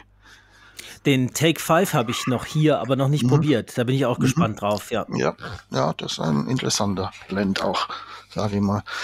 Das war so, das waren so die ersten drei äh, Serien, mit denen ich in Loma dann 2011 hier mit zittrigen Händen am Stand gestanden bin und äh, die Dinge gehascht habe, die da auf mich zukommen. Und hat aber dann, ähm, das Zittern hat sich aber wahrscheinlich schnell aufgelöst, weil ähm, ist ja sehr erfolgreich geworden, ne? Alle drei Reihen. Ja, es hat sich relativ schnell aufgelöst, sage ich mal. Aber es waren doch irgendwo Berührungsängste. Meine, wenn du das erste Mal auf so einem Stand stehst und präsentierst im Publikum irgendwo Dinge, die du für dich, sage ich mal, in deinem Kämmerchen gemacht hast, dann ist man natürlich hier schon ein bisschen nervös. Ne? Dass man sagt, ja, ist das eigentlich alles Kappes, was du hier machst? Oder wie wirst du das angenommen? Und ähnlich nervös war eigentlich auch das Publikum. Also es war wirklich interessant zu beobachten, wie die Leute so um den Stand hier so rumgeschlichen sind, aber sich nicht getraut haben, mich anzusprechen oder äh, mal Tabake zu riechen oder zu fragen. Das war also das war eine ganz besondere Erfahrung, muss ich sagen. Aber wie du sagst, Gott sei Dank relativ erfolgreich oder zumindest so erfolgreich, dass ich gesagt habe, okay, da lässt sich aufbauen. Mhm. Der ganzen Geschichte. Gut, da habe ich dann ja auch, sage ich mal, gut, Peter Hemmer. Ich weiß nicht, ob da der Name was sagt. Nee, äh, spontan nicht. Der Peter, mit dem Peter mache ich zusammen die äh, African Line Tawage. Ah, okay. Die hießen ja vorher Foundation bei Musico. Also Peter Hemmer hat, hat ja jahrelang in Rom gelebt und mit äh, hat mitgearbeitet bei Foundation. Das ist eine italienische Pfeifenmarke. Foundation bei Musico. Und den habe ich dann nochmal näher kennengelernt, eben auf der ersten Messe. Er hat hier alle meine Tabake von jedem eine Dose gekauft und dann abends in der Kneipe äh, bei der Abrissmesse, sage ich mal, äh, hat er mich dann angesprochen und gesagt, Mensch, er ist ein großer Latakia-Fan und Kenner. Und gesagt, Mensch, das äh, raucht sich eigentlich alles ganz gut, was du da machst. Hast du nicht Lust äh, für Foundation, dass wir hier eine, eine Serie machen, eine Tabak-Serie, dass wir da zusammen was machen? Und das haben wir dann auch getan und haben die Serie dann ins Leben gerufen und äh, mit Peter Hemmer lässt sich also toll zusammenarbeiten und er ist so ein absoluter Profi. Also Profi dahingehend, dass ich sage, okay, also er hat, er schmeckt hier schon Nuancen, wo ich sage, ups, Peter, das schmecke ich jetzt irgendwie so direkt nicht raus. Und äh, da haben wir jetzt einige tolle Blends, finde ich, in der Afrika-Line irgendwo gemacht. Ja, und, definitiv. Äh, unter anderem den Fayum Special Cake, ne? Ja, unter anderem den Fayum Special Cake oder jetzt den Khartoum, sage ich mal, ist mal was anderes oder äh, ich sag mal gut, vom Khoisan haben wir ja schon gesprochen, mhm. aber auch ein Jala mit äh, etwas, äh, äh, Entschuldigung, mit etwas Zigarrentabak drin. Ja, äh, und es passt irgendwie mit Peter zusammen. Also wenn wir hier, wir sind uns eigentlich fast immer einer Meinung, das muss ich ganz ehrlich sagen. Das ist schon fast erstaunlich wenn ich ihm dann immer Proben von dem zuschicke, was ich gemacht habe und wir dann drüber diskutieren, dann kommen wir eigentlich im Regelfall immer aufs gleiche Ergebnis. Von dem her ist es eine sehr äh, ertragreiche Zusammenarbeit, also ertragreich im Sinne von Ideen oder Geschmacksmustern. Den Ich hatte mal eine, eine relativ große Probe von dem Makuva, den fand ich äh, richtig gut auch. Ja, Makuba ist auch ein toller Tabak, auch mit Burley dominiert, sage ich mal. Mhm. Schön kräftig, erdig. Erdig, genau, erdig, leicht schokoladig. Ja. Das ist schon eine schöne Sache, auch, muss ich auch sagen. Mhm. Es sind einige Blends auch drin, wo ich auch immer wieder, zu denen ich immer wieder mal greife. Ja. Ja, so, so ist es losgegangen.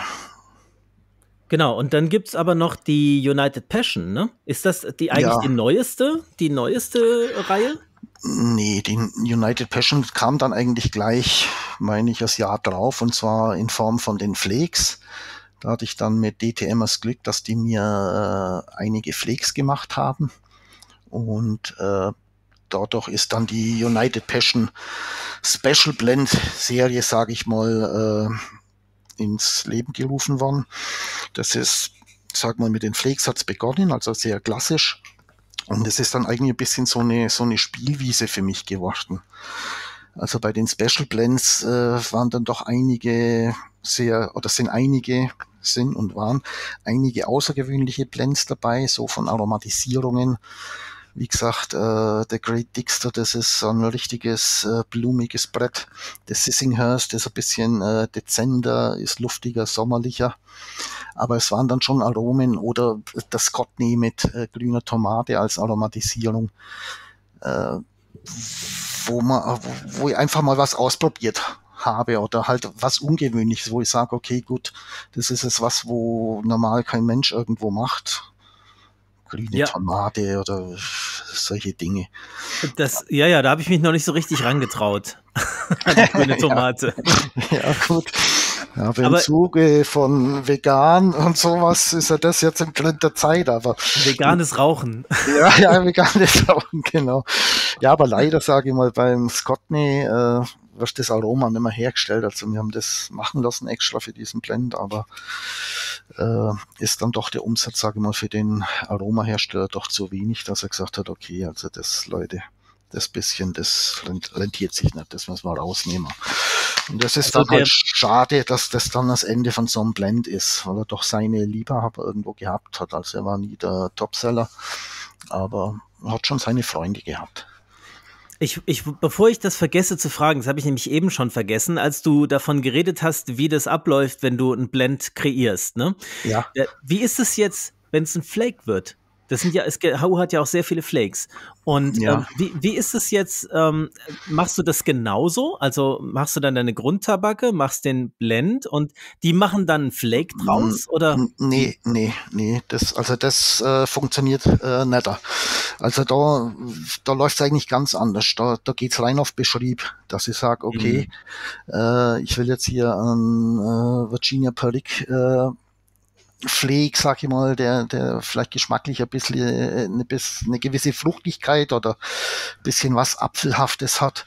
Also wo so eine leichte Säure-Note mit dabei ist. Also das, das muss ich denen beschreiben.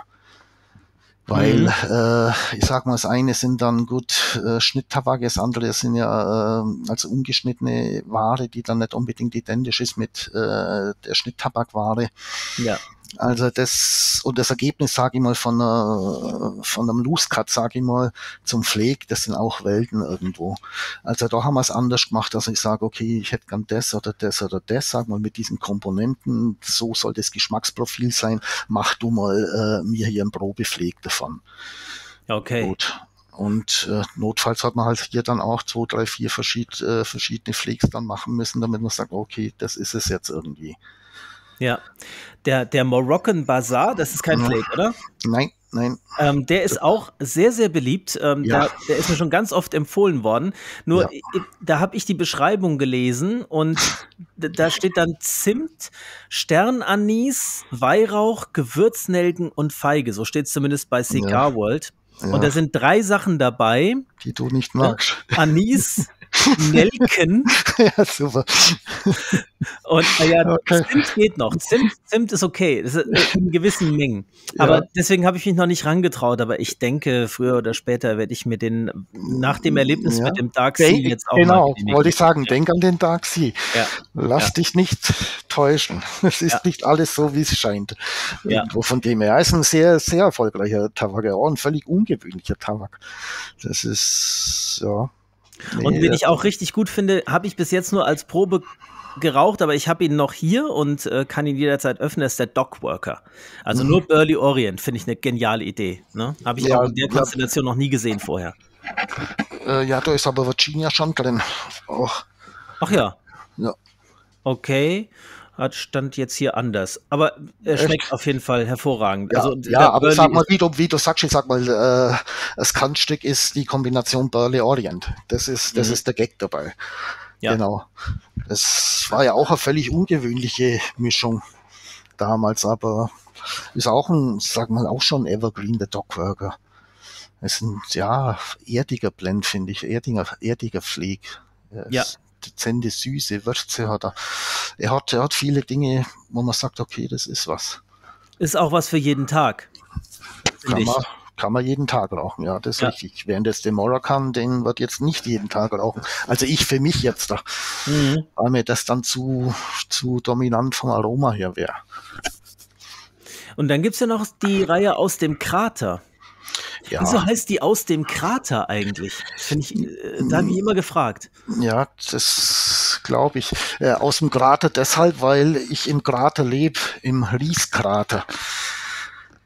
Äh, also die Gegend, wo ich äh, lebe oder wohne, in Naschtlingen, das ist so ziemlich, ziemlich der Mittelpunkt des Ries, Rieskraters. Äh, das ist, wie gesagt, ein Krater aufgrund von einem Meteoriteneinschlag. So ein, ja, so ein Krater, circa 30 Kilometer im Durchmesser.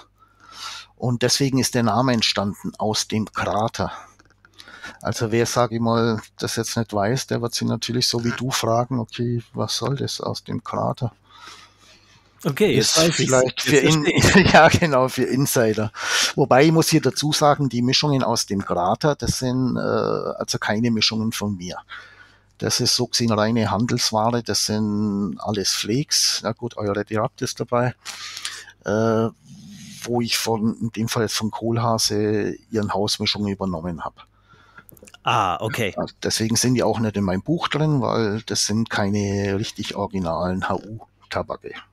Das ist so, wie es bei 90 Prozent der Hausmischungen ist, dass man sagt, okay, es ist ein Standard-Tabak, äh, der Darkstrong Kentucky oder Larsen 230, wo einfach äh, das hauseigene Etikett draufgeklebt wird. Ah, verstehe, okay. Ja, da höre ich immer von dem Streifenhörnchen. Also einer Genau. dieser Tabake ist wohl irgendwie gestreift. Also im, Das im, im ist besagter, besagter Darkstrong Kentucky. Den gibt's ja von Oleg in, unter dem Namen nicht mehr, aber als Hausmarke. Wie gesagt, das Streifenhandchen gibt's den ja in X, in zig, unter zig verschiedenen Namen. Mhm. So eben auch Graternummer, ist es vier oder fünf, weiß ich jetzt gar nicht genau. Okay. Ist auch schon absoluter Klassiker. Der Tabak gibt's ja schon seit 30, 40 Jahren oder so. Dem ja auch ein schöner Tabak, also wenn du Kentucky magst, wobei er hier, sag mal, sehr, sehr süß äh, interpretiert ist und jetzt äh, nicht so das äh, Typische von Kentucky rüberbringt, aber ist mit dabei und gibt auch eine gewisse Würze. Ist Es, also, mu- es ist die Nummer 5. Ich habe es hier gerade offen. Okay. Ja, ist die Nummer. Also das definitiv, wenn, wenn, wenn der Name Streifenhörnchen irgendwas mit dem Tabakbild zu tun hat, dann Ja. muss es die 5 sein, ja. dann ist es fünf. Ich sage, ich wusste jetzt immer vier oder fünf. Dann ist vier, ist dann der Larsen 32. Virginia Burley, Kentucky, ja, den habe ich jetzt nicht mitbestellt. Das äh, kommt auch noch auf meine Liste, muss ich auch Ja. noch probieren. Okay. Okay. Ja gut, aber dann haben wir ja eigentlich, in letzter Zeit haben wir ja äh, noch zwei neue äh, Serien. Sag mal einmal äh, die, wo der Darksea auch dann läuft, diese Pipe Enthusiasts. Ja, stimmt. Und ja, äh, genau. dann zu allerletzt dann auch äh, die Schottentabake, die Glens of Scotland. Ja. Äh, wo eigentlich auch ein Motto haben, im Prinzip alles äh, mehr oder weniger Latakia-haltige Tabake, aber in Verbindung mit Aroma. Mhm. Das war also auch mal irgendwie so eine Idee, sowas mal im, zu machen, wo auch jeder gesagt hat, ah, musst du da gleich vier Blends machen, bist ja verrückt, das ist ja die absolute Nische, ne? Die, die Latakia mögen, die mögen im Regelfall kein Aroma und die, die Aroma mögen im Regel, Regelfall keinen Latakia, ne? Und also, wo ich das im Alexander Breu mit den Etiketten gesagt habe, gesagt, das sind halt so, meinst du nicht, dass das ein bisschen üppig ist, vier Stück, mach doch mal ein, um zu sehen, wie das läuft. Aber ich war mal eigentlich, ja, sicher ist übertrieben. Ich habe halt gehofft, dass wirklich, äh, dass man aufgrund der unterschiedlichen Aromen hier doch unterschiedliche Akzente setzen kann und dass es doch äh, mehr Leute gibt, die einfach sowas mal ganz gern rauchen. Die sagen, ich mag zwar schon ein bisschen das Rauchige, aber ich mag auch so eine Süßkomponente mit Aroma mit dabei. Also wenn die nur halb so gut sind wie der Raiko in Between, ähm, freue ich mich tierisch drauf. Ich habe sie alle vier hier, nur noch nicht Oh. aufgemacht. Sie sind ganz anders wie der Raiko in Between. Ah ja, wahrscheinlich ähm, fruchtiger, ne? Ja, vom genau, das-. Ja. Genau, das sind also mitunter Fruchtaromen drin, da ist aber auch, sage ich mal, was mit, äh, äh, ich sag mal, was, was, was Blumiges, Leglandhaftes mit dabei, der McLaughlin. Das ist so ein Hybrid, sage ich mal, zwischen Latakia und Legland-Tabak.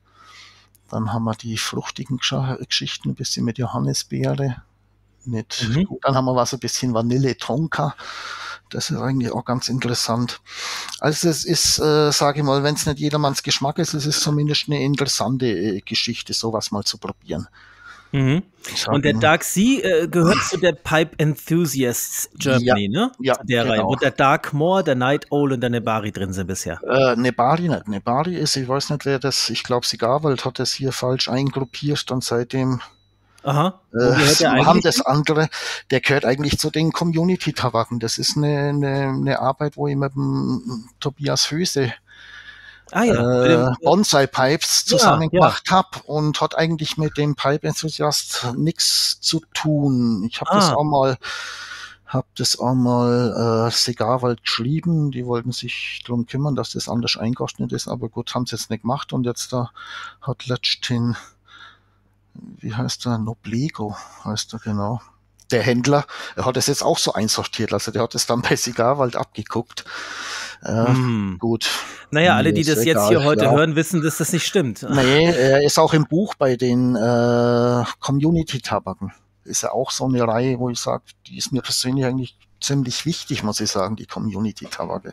Mhm. Weil es mir schon wichtig ist, sage ich mal, in Kontakt zur Basis nicht zu verlieren und vielleicht auch das ein oder andere äh, auf Hinweise oder mit der Basis zusammenzumachen irgendwo. Also HU soll ja kein abgehobener Laden irgendwo sein Mhm. ich, ich sage immer, oder habe spaßhalber oft immer gesagt, okay, äh, äh, volkseigener Betrieb HU Tobacco, ne? Weil x Leute, oder mit x Leuten habe ich hier schon zusammen was gemacht, sei es jetzt Bonsai oder äh, der Untouchable zusammen mit Michael Apitz oder Co-Pipes, den Swan und den Bullet.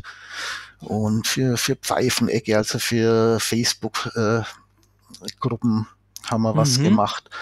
Also es ist was, wo ich schon viel, viel Spaß dran habe irgendwo, wo man zusammenarbeiten kann und wo vielleicht einfach, ja, dass man in Kontakt zur Basis nicht verliert. Also ich will jetzt nicht äh, hier ein, ein Anbieter sein, der hier völlig losgelöst äh, nach Marktchancen irgendwelche Blends hier lanciert Okay. sondern ich will, bin durch die Basis groß geworden, in Anführungsstrichen groß. Es ist ja nach wie vor ein Hobbyunternehmen und äh, will das auch nicht verlieren, sage ich mal, den Kontakt nicht äh, und auch ja die Ideen nicht. Dass ich Mhm. sage, ihr raucht das, was ich sage und nicht, Mensch, wir machen mal was, was ihr gern hättet. Stimmt, äh, An- den an Swan. Ja. Swan gibt's auch noch. Da gibt's so Ja. ein, ja, den habe ich auch noch hier stehen, auch noch nicht Nein. probiert. Ich habe einfach viel zu viele Tabak noch nicht probiert, die ich hier stehen habe. Ja, ich mag schon. Also du rauchst Ja. zu wenig. Ja, ich muss mehr rauchen. Ich Ja, genau. Das nehme ich mir mit von der heutigen Folge. Es muss Ja, mehr genau. Pfeife geraucht werden. genau. Und ähm, dann gibt's da noch diese, diese, dieses, äh, ich weiß nicht, ob die zusammengehören, aber brüllende Löw. Geniet-Moment, Jannemann, Flake? Jannemann, genau. Also das sind im Prinzip äh, auch äh, Zusammenarbeit mit einem, mit dem holländischen Forum. Mhm. Da hatte ich guten Kontakt mit dem Arno van Goor, der hat das Ganze auch dann in die Hand genommen und die sind auf mich zugekommen, Mensch, sie hätten ganz gern äh, Foren-Tabake. Das war ganz am Anfang eigentlich, ich glaube 2012 oder so. Und ob ich denn da äh, was machen könnte. Und ja, so sind diese drei Blends entstanden, wobei man hier sagen muss, äh, es ist so eine, es ist so ein Mittelding zwischen Standardmischung und Eigenmischung. Also es sind Standardmischungen, die ein bisschen abgeändert sind, äh, um sie, sage ich mal, wirklich exklusiv zu machen. Es ist aber keine, äh, diese drei Blends sind also jetzt keine gänzliche Grundidee von mir. Also da will ich mir jetzt nicht mit fremden Federn schmücken, sondern okay. wir haben hier Standardblends, die angeboten waren, äh, bisschen abgeändert, äh, so dass sie eben gewisse Exklusivität haben für das Forum.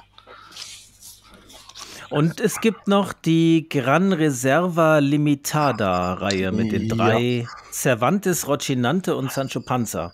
Genau, das ist eigentlich auch was ganz Besonderes oder Spezielles.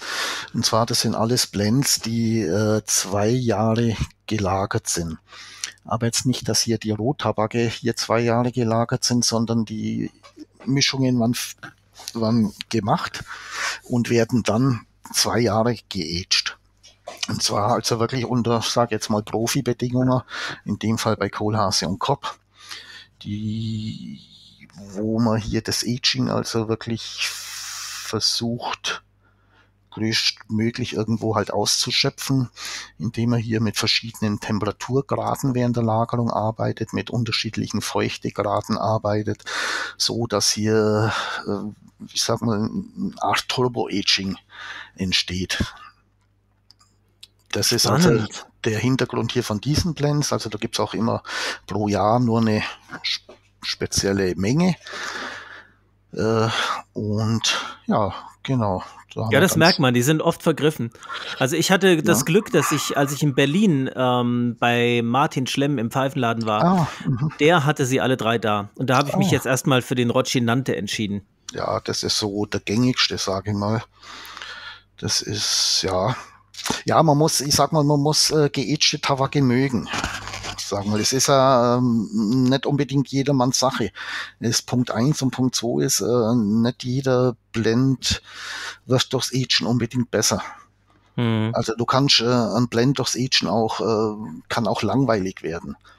Mhm. Weil durch das Agen, sage ich mal, äh, nimmst du dem Tabak die, die Geschmacksspitzen also du wirst dich schwerer tun bei einem geagten Tabak hier die einzelnen Tabaksorten explizit herauszuschmecken, was du vielleicht im frischen Zustand, äh, wenn er spritziger ist und die äh, eigenen Charaktere der einzelnen Komponenten irgendwo sichtbarer sind oder schmeckbarer sind, da ist es einfacher, aber bei so einem geagten Tabak, da, ich weiß jetzt nicht, wie ich es ausdrücken soll, äh, die Geschmacksspitzen sind da weg. Es konzentriert sich hier alles ein bisschen aufs Mittelfeld, geschmackliche Mittelfeld. Äh, wird dadurch natürlich sehr, sehr intensiv vom Geschmack her, weich, er wird rund. Äh, der eine sagt, okay, das ist mein Ding, der andere sagt, okay, äh, das ist mir zu langweilig, ich will es lieber frischer, spritziger haben. Also es ist, es ist eine Geschmackssache. Also ich mag geagte Tabake, aber ich mag frische auch. Also ist was, was man ausprobieren muss für sich selber auch entscheiden. Ja, ich habe gar nicht so eine Erfahrung mit geagten Tabak, muss ich sagen. Muss ich noch, muss ich erst noch erwerben, diese Erfahrung? Mm, ja, da kann ich da wenn du den, den Rosinante aufmachst, dann gib mir mal Bescheid. Mhm. Dann schicke ich, ich, dir gerne. mal was, dann schicke ich dir mal eine frische Variante. Und dann kannst du mal wirklich ah. eher rauchen und sagen, aha, so schmeckt der frisch und so schmeckt der geaged. Wirst das ist spannend, deutlichen, ja. deutlichen Unterschied feststellen. A, in der Farbgebung schon mal und B, auch geschmacklich ist es so. Frisch ist heller, äh, geaged ist dunkel und so ist auch geschmacklich. Der geagte schmeckt satter, ist vielleicht ein bisschen süßer, malziger, schwerer im Geschmack und der frische ist dann mehr luftig, ist spritziger. so kann man sich das in etwa vorstellen. Gib mal Bescheid, dann schicke ich dir eine Probe von einem frischen. Absolut gerne. Da Ja, würde ich mich sehr freuen. du Ja, mal, super. äh, Direkt Erfahrung sammeln mit dem gleichen Mhm. Blend. Okay. Ja, also das, das war so, was ähm, mich jetzt vor allem so interessiert hat, was ich gerne mit dir besprechen wollte. Aber ich habe jetzt, vielleicht hast du noch irgendwas, was du von dir aus erzählen willst oder hast noch Fragen, wie, du, Frag wie du möchtest. Ach so.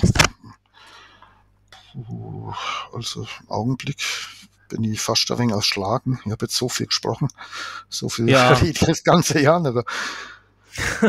Ja, halt Nee, ein, eins, eins, was- also, Entschuldigung. Ja, Eine, nee, nee, ich eine Frage. sagen, wir sind, du zuerst, du zuerst, du zuerst. das, das war jetzt gut, das lassen wir drin, das schneiden wir nicht raus. Das Ja, ist witzig, nee, sowas. Ja. Nee, wir sind ja auch schon gut anderthalb Stunden dabei, also das ist schon okay. Ähm, aber du hattest noch was, genau. Ja, eins habe ich noch, genau, das würde mich interessieren, weil wir so vorhin von der Community-Geschichte gesprochen haben und dass mir das schon wichtig ist. Deswegen auch eine Frage jetzt speziell an dich.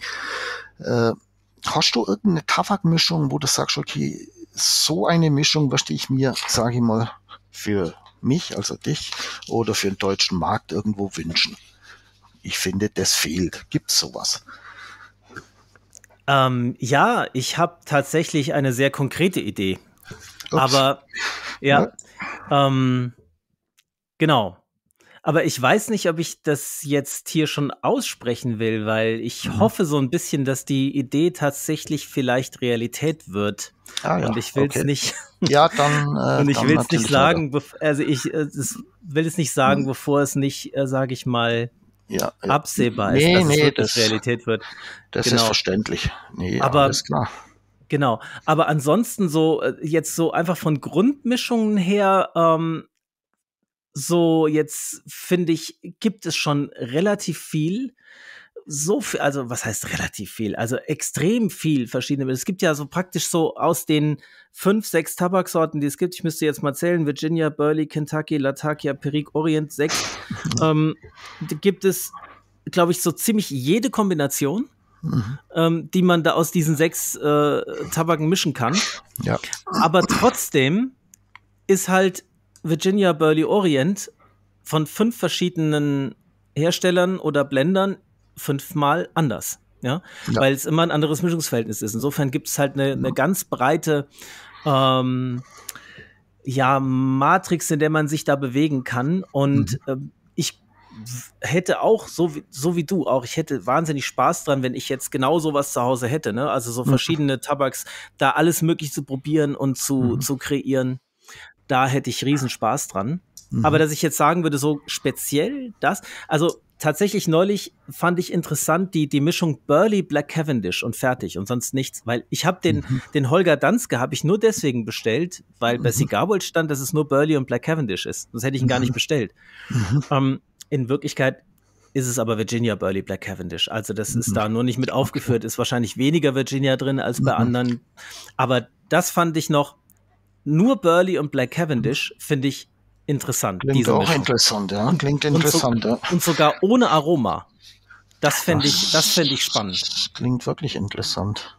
Hm. Das ist aber nicht das, was ich eben meinte, ne? Das ist nicht die Nee, Idee, nee, die nee, ich im Kopf nee, nee, Aber das, das fände ich wirklich Das- eine interessante Mischung und, und Mhm. das ohne Aroma. Also, weil Black Cavendish ohne Aroma ist gar nicht so schlecht. Das, also der Mhm, Maduro von Robert McConnell ist super Mhm. und der Dark Fragrant von Red Trace finde ich ist auch Ist auch super. Das sehr sind gut, ja. beides, aber da ist noch ein bisschen Perique mit Auch. dran, ne? Das macht Mhm. nochmal so einen besonderen Schliff dann. Hm. Ja. Ja, aber so ist es, sagen wir, allgemein natürlich ein bisschen schwierig, ne? Man, immer wieder neue Ideen, sagen wir mal, zu haben. Äh, ich sag mal, im Naturtabakbereich gibt's ja eigentlich schon fast alles, jede Kombination. Das meine Klar, ich. Ja, genau, das will ich eben nochmal unterstreichen. Äh, Ich sag mal, äh, klar, von jedem Hersteller schmeckt es ein bisschen anders, weil einfach andere Grundtabake verwendet werden, andere Grundcasings verwendet werden äh, und vielleicht auch äh, ein bisschen anderes Verhältnis. Von dem her ist natürlich schwierig, sage ich mal, so einen reinen Naturtabak hier jetzt nochmal das Rad neu zu erfinden. Ja. Also von dem her ähm, finde ich, sage ich mal jetzt da für mich spannender eigentlich, wenn ich sage, okay, äh, es geht ein bisschen mehr mit Aroma. Also jetzt nicht unbedingt Aromaten, aber wo ich einfach sage, wie der Dark Sea, äh, tolle Tabake mit einem Touch-Aroma, das mhm. äh, kann nochmal Akzente irgendwo setzen. Ja. Aber jetzt zu sagen, okay, jetzt wieder in Virginia, wieder mit Burley und wieder mit Kentucky, da wird schwierig zu sagen, okay, das ist es jetzt, Leute, das ist was Neues äh, oder was ganz anderes. Das ja. kann nicht mehr revolutionär sein, sage ich mal. Da hast du, da bist du unausweichlich, sage ich mal, wenn du äh, was Neues oder was Verrücktes irgendwie machen willst, dass du sagst, okay, äh, ich spiele ein bisschen mit Aromen. Mhm. Von dem her bin ich ganz froh oder wäre mir immer dagegen, wenn es gibt ja immer Leute, die sagen, ah, Aroma, alles scheiße und so weiter. Es ist wie, wie beim Beton, es, es kommt drauf an, was man draus macht irgendwo. Also Absolut. man soll sowas äh, nicht generell verteufeln, sondern man kann hier echt toll eingebundene äh, Aromen hier in Blends verwenden. Ja, ja, das äh, habe ich letzter Zeit auch festgestellt. Also selbst unter den einfachen Aromaten gibt es gute, aber mhm. ähm, es gibt halt auch, ja, wir haben ja heute drüber gesprochen, Eagle, Sissinghurst und solche Sachen, Bahia O, das sind ja alles richtig, richtig leckere Tabake, die jetzt, ja. die ich äh, sehr gerne immer wieder rauche. Mhm. Dem schließe ich mich an. Okay. Gut, ja. ja, wollen wir so langsam zum Schluss kommen von der ja. Folge? Ja, wenn du jetzt nichts mehr hast, ich bin jetzt auch ausgepowert. Super, dann danke ich dir ganz herzlich, dass du dabei warst. Hat mir riesen Spaß gemacht, mit dir zu reden. Ähm, wir haben vorher nie miteinander gesprochen, ne? Wir haben nur so mhm. geschrieben mal, mhm. war unser ja. erstes Gespräch.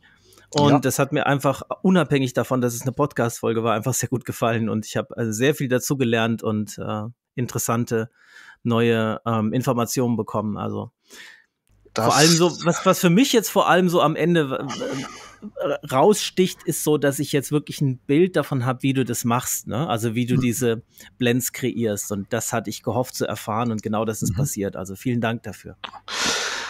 Dann freut mich das, Tobias. Und ich sag mal, ich habe zu danken. Das war jetzt wirklich eine sehr kurzweilige Zeit, obwohl ich ja schon ziemlich Bammel gehabt habe. Und nee, ganz, ganz herzlichen Dank, dass ihr Gelegenheit gehabt habt, mit dir zu sprechen. War total sympathischer Kontakt und sollte es mit Stuttgart klappen, dann wäre es toll, wenn wir da auch mal live ein paar Worte wechseln könnten. Würde mich freuen. Oh ja, mich auch. Das wäre schön. Gut, und euch da draußen hoffe ich, hat es genauso gut gefallen. Und ich wünsche euch natürlich auch, wie immer, alles Gute, eine gute Zeit, so oft wie möglich den perfekten Smoke und alles das, was ihr euch auch für euch selbst wünschen würdet. Bis zum nächsten Mal bei Strandkorbgedöns. Macht's gut. Ciao. Ciao.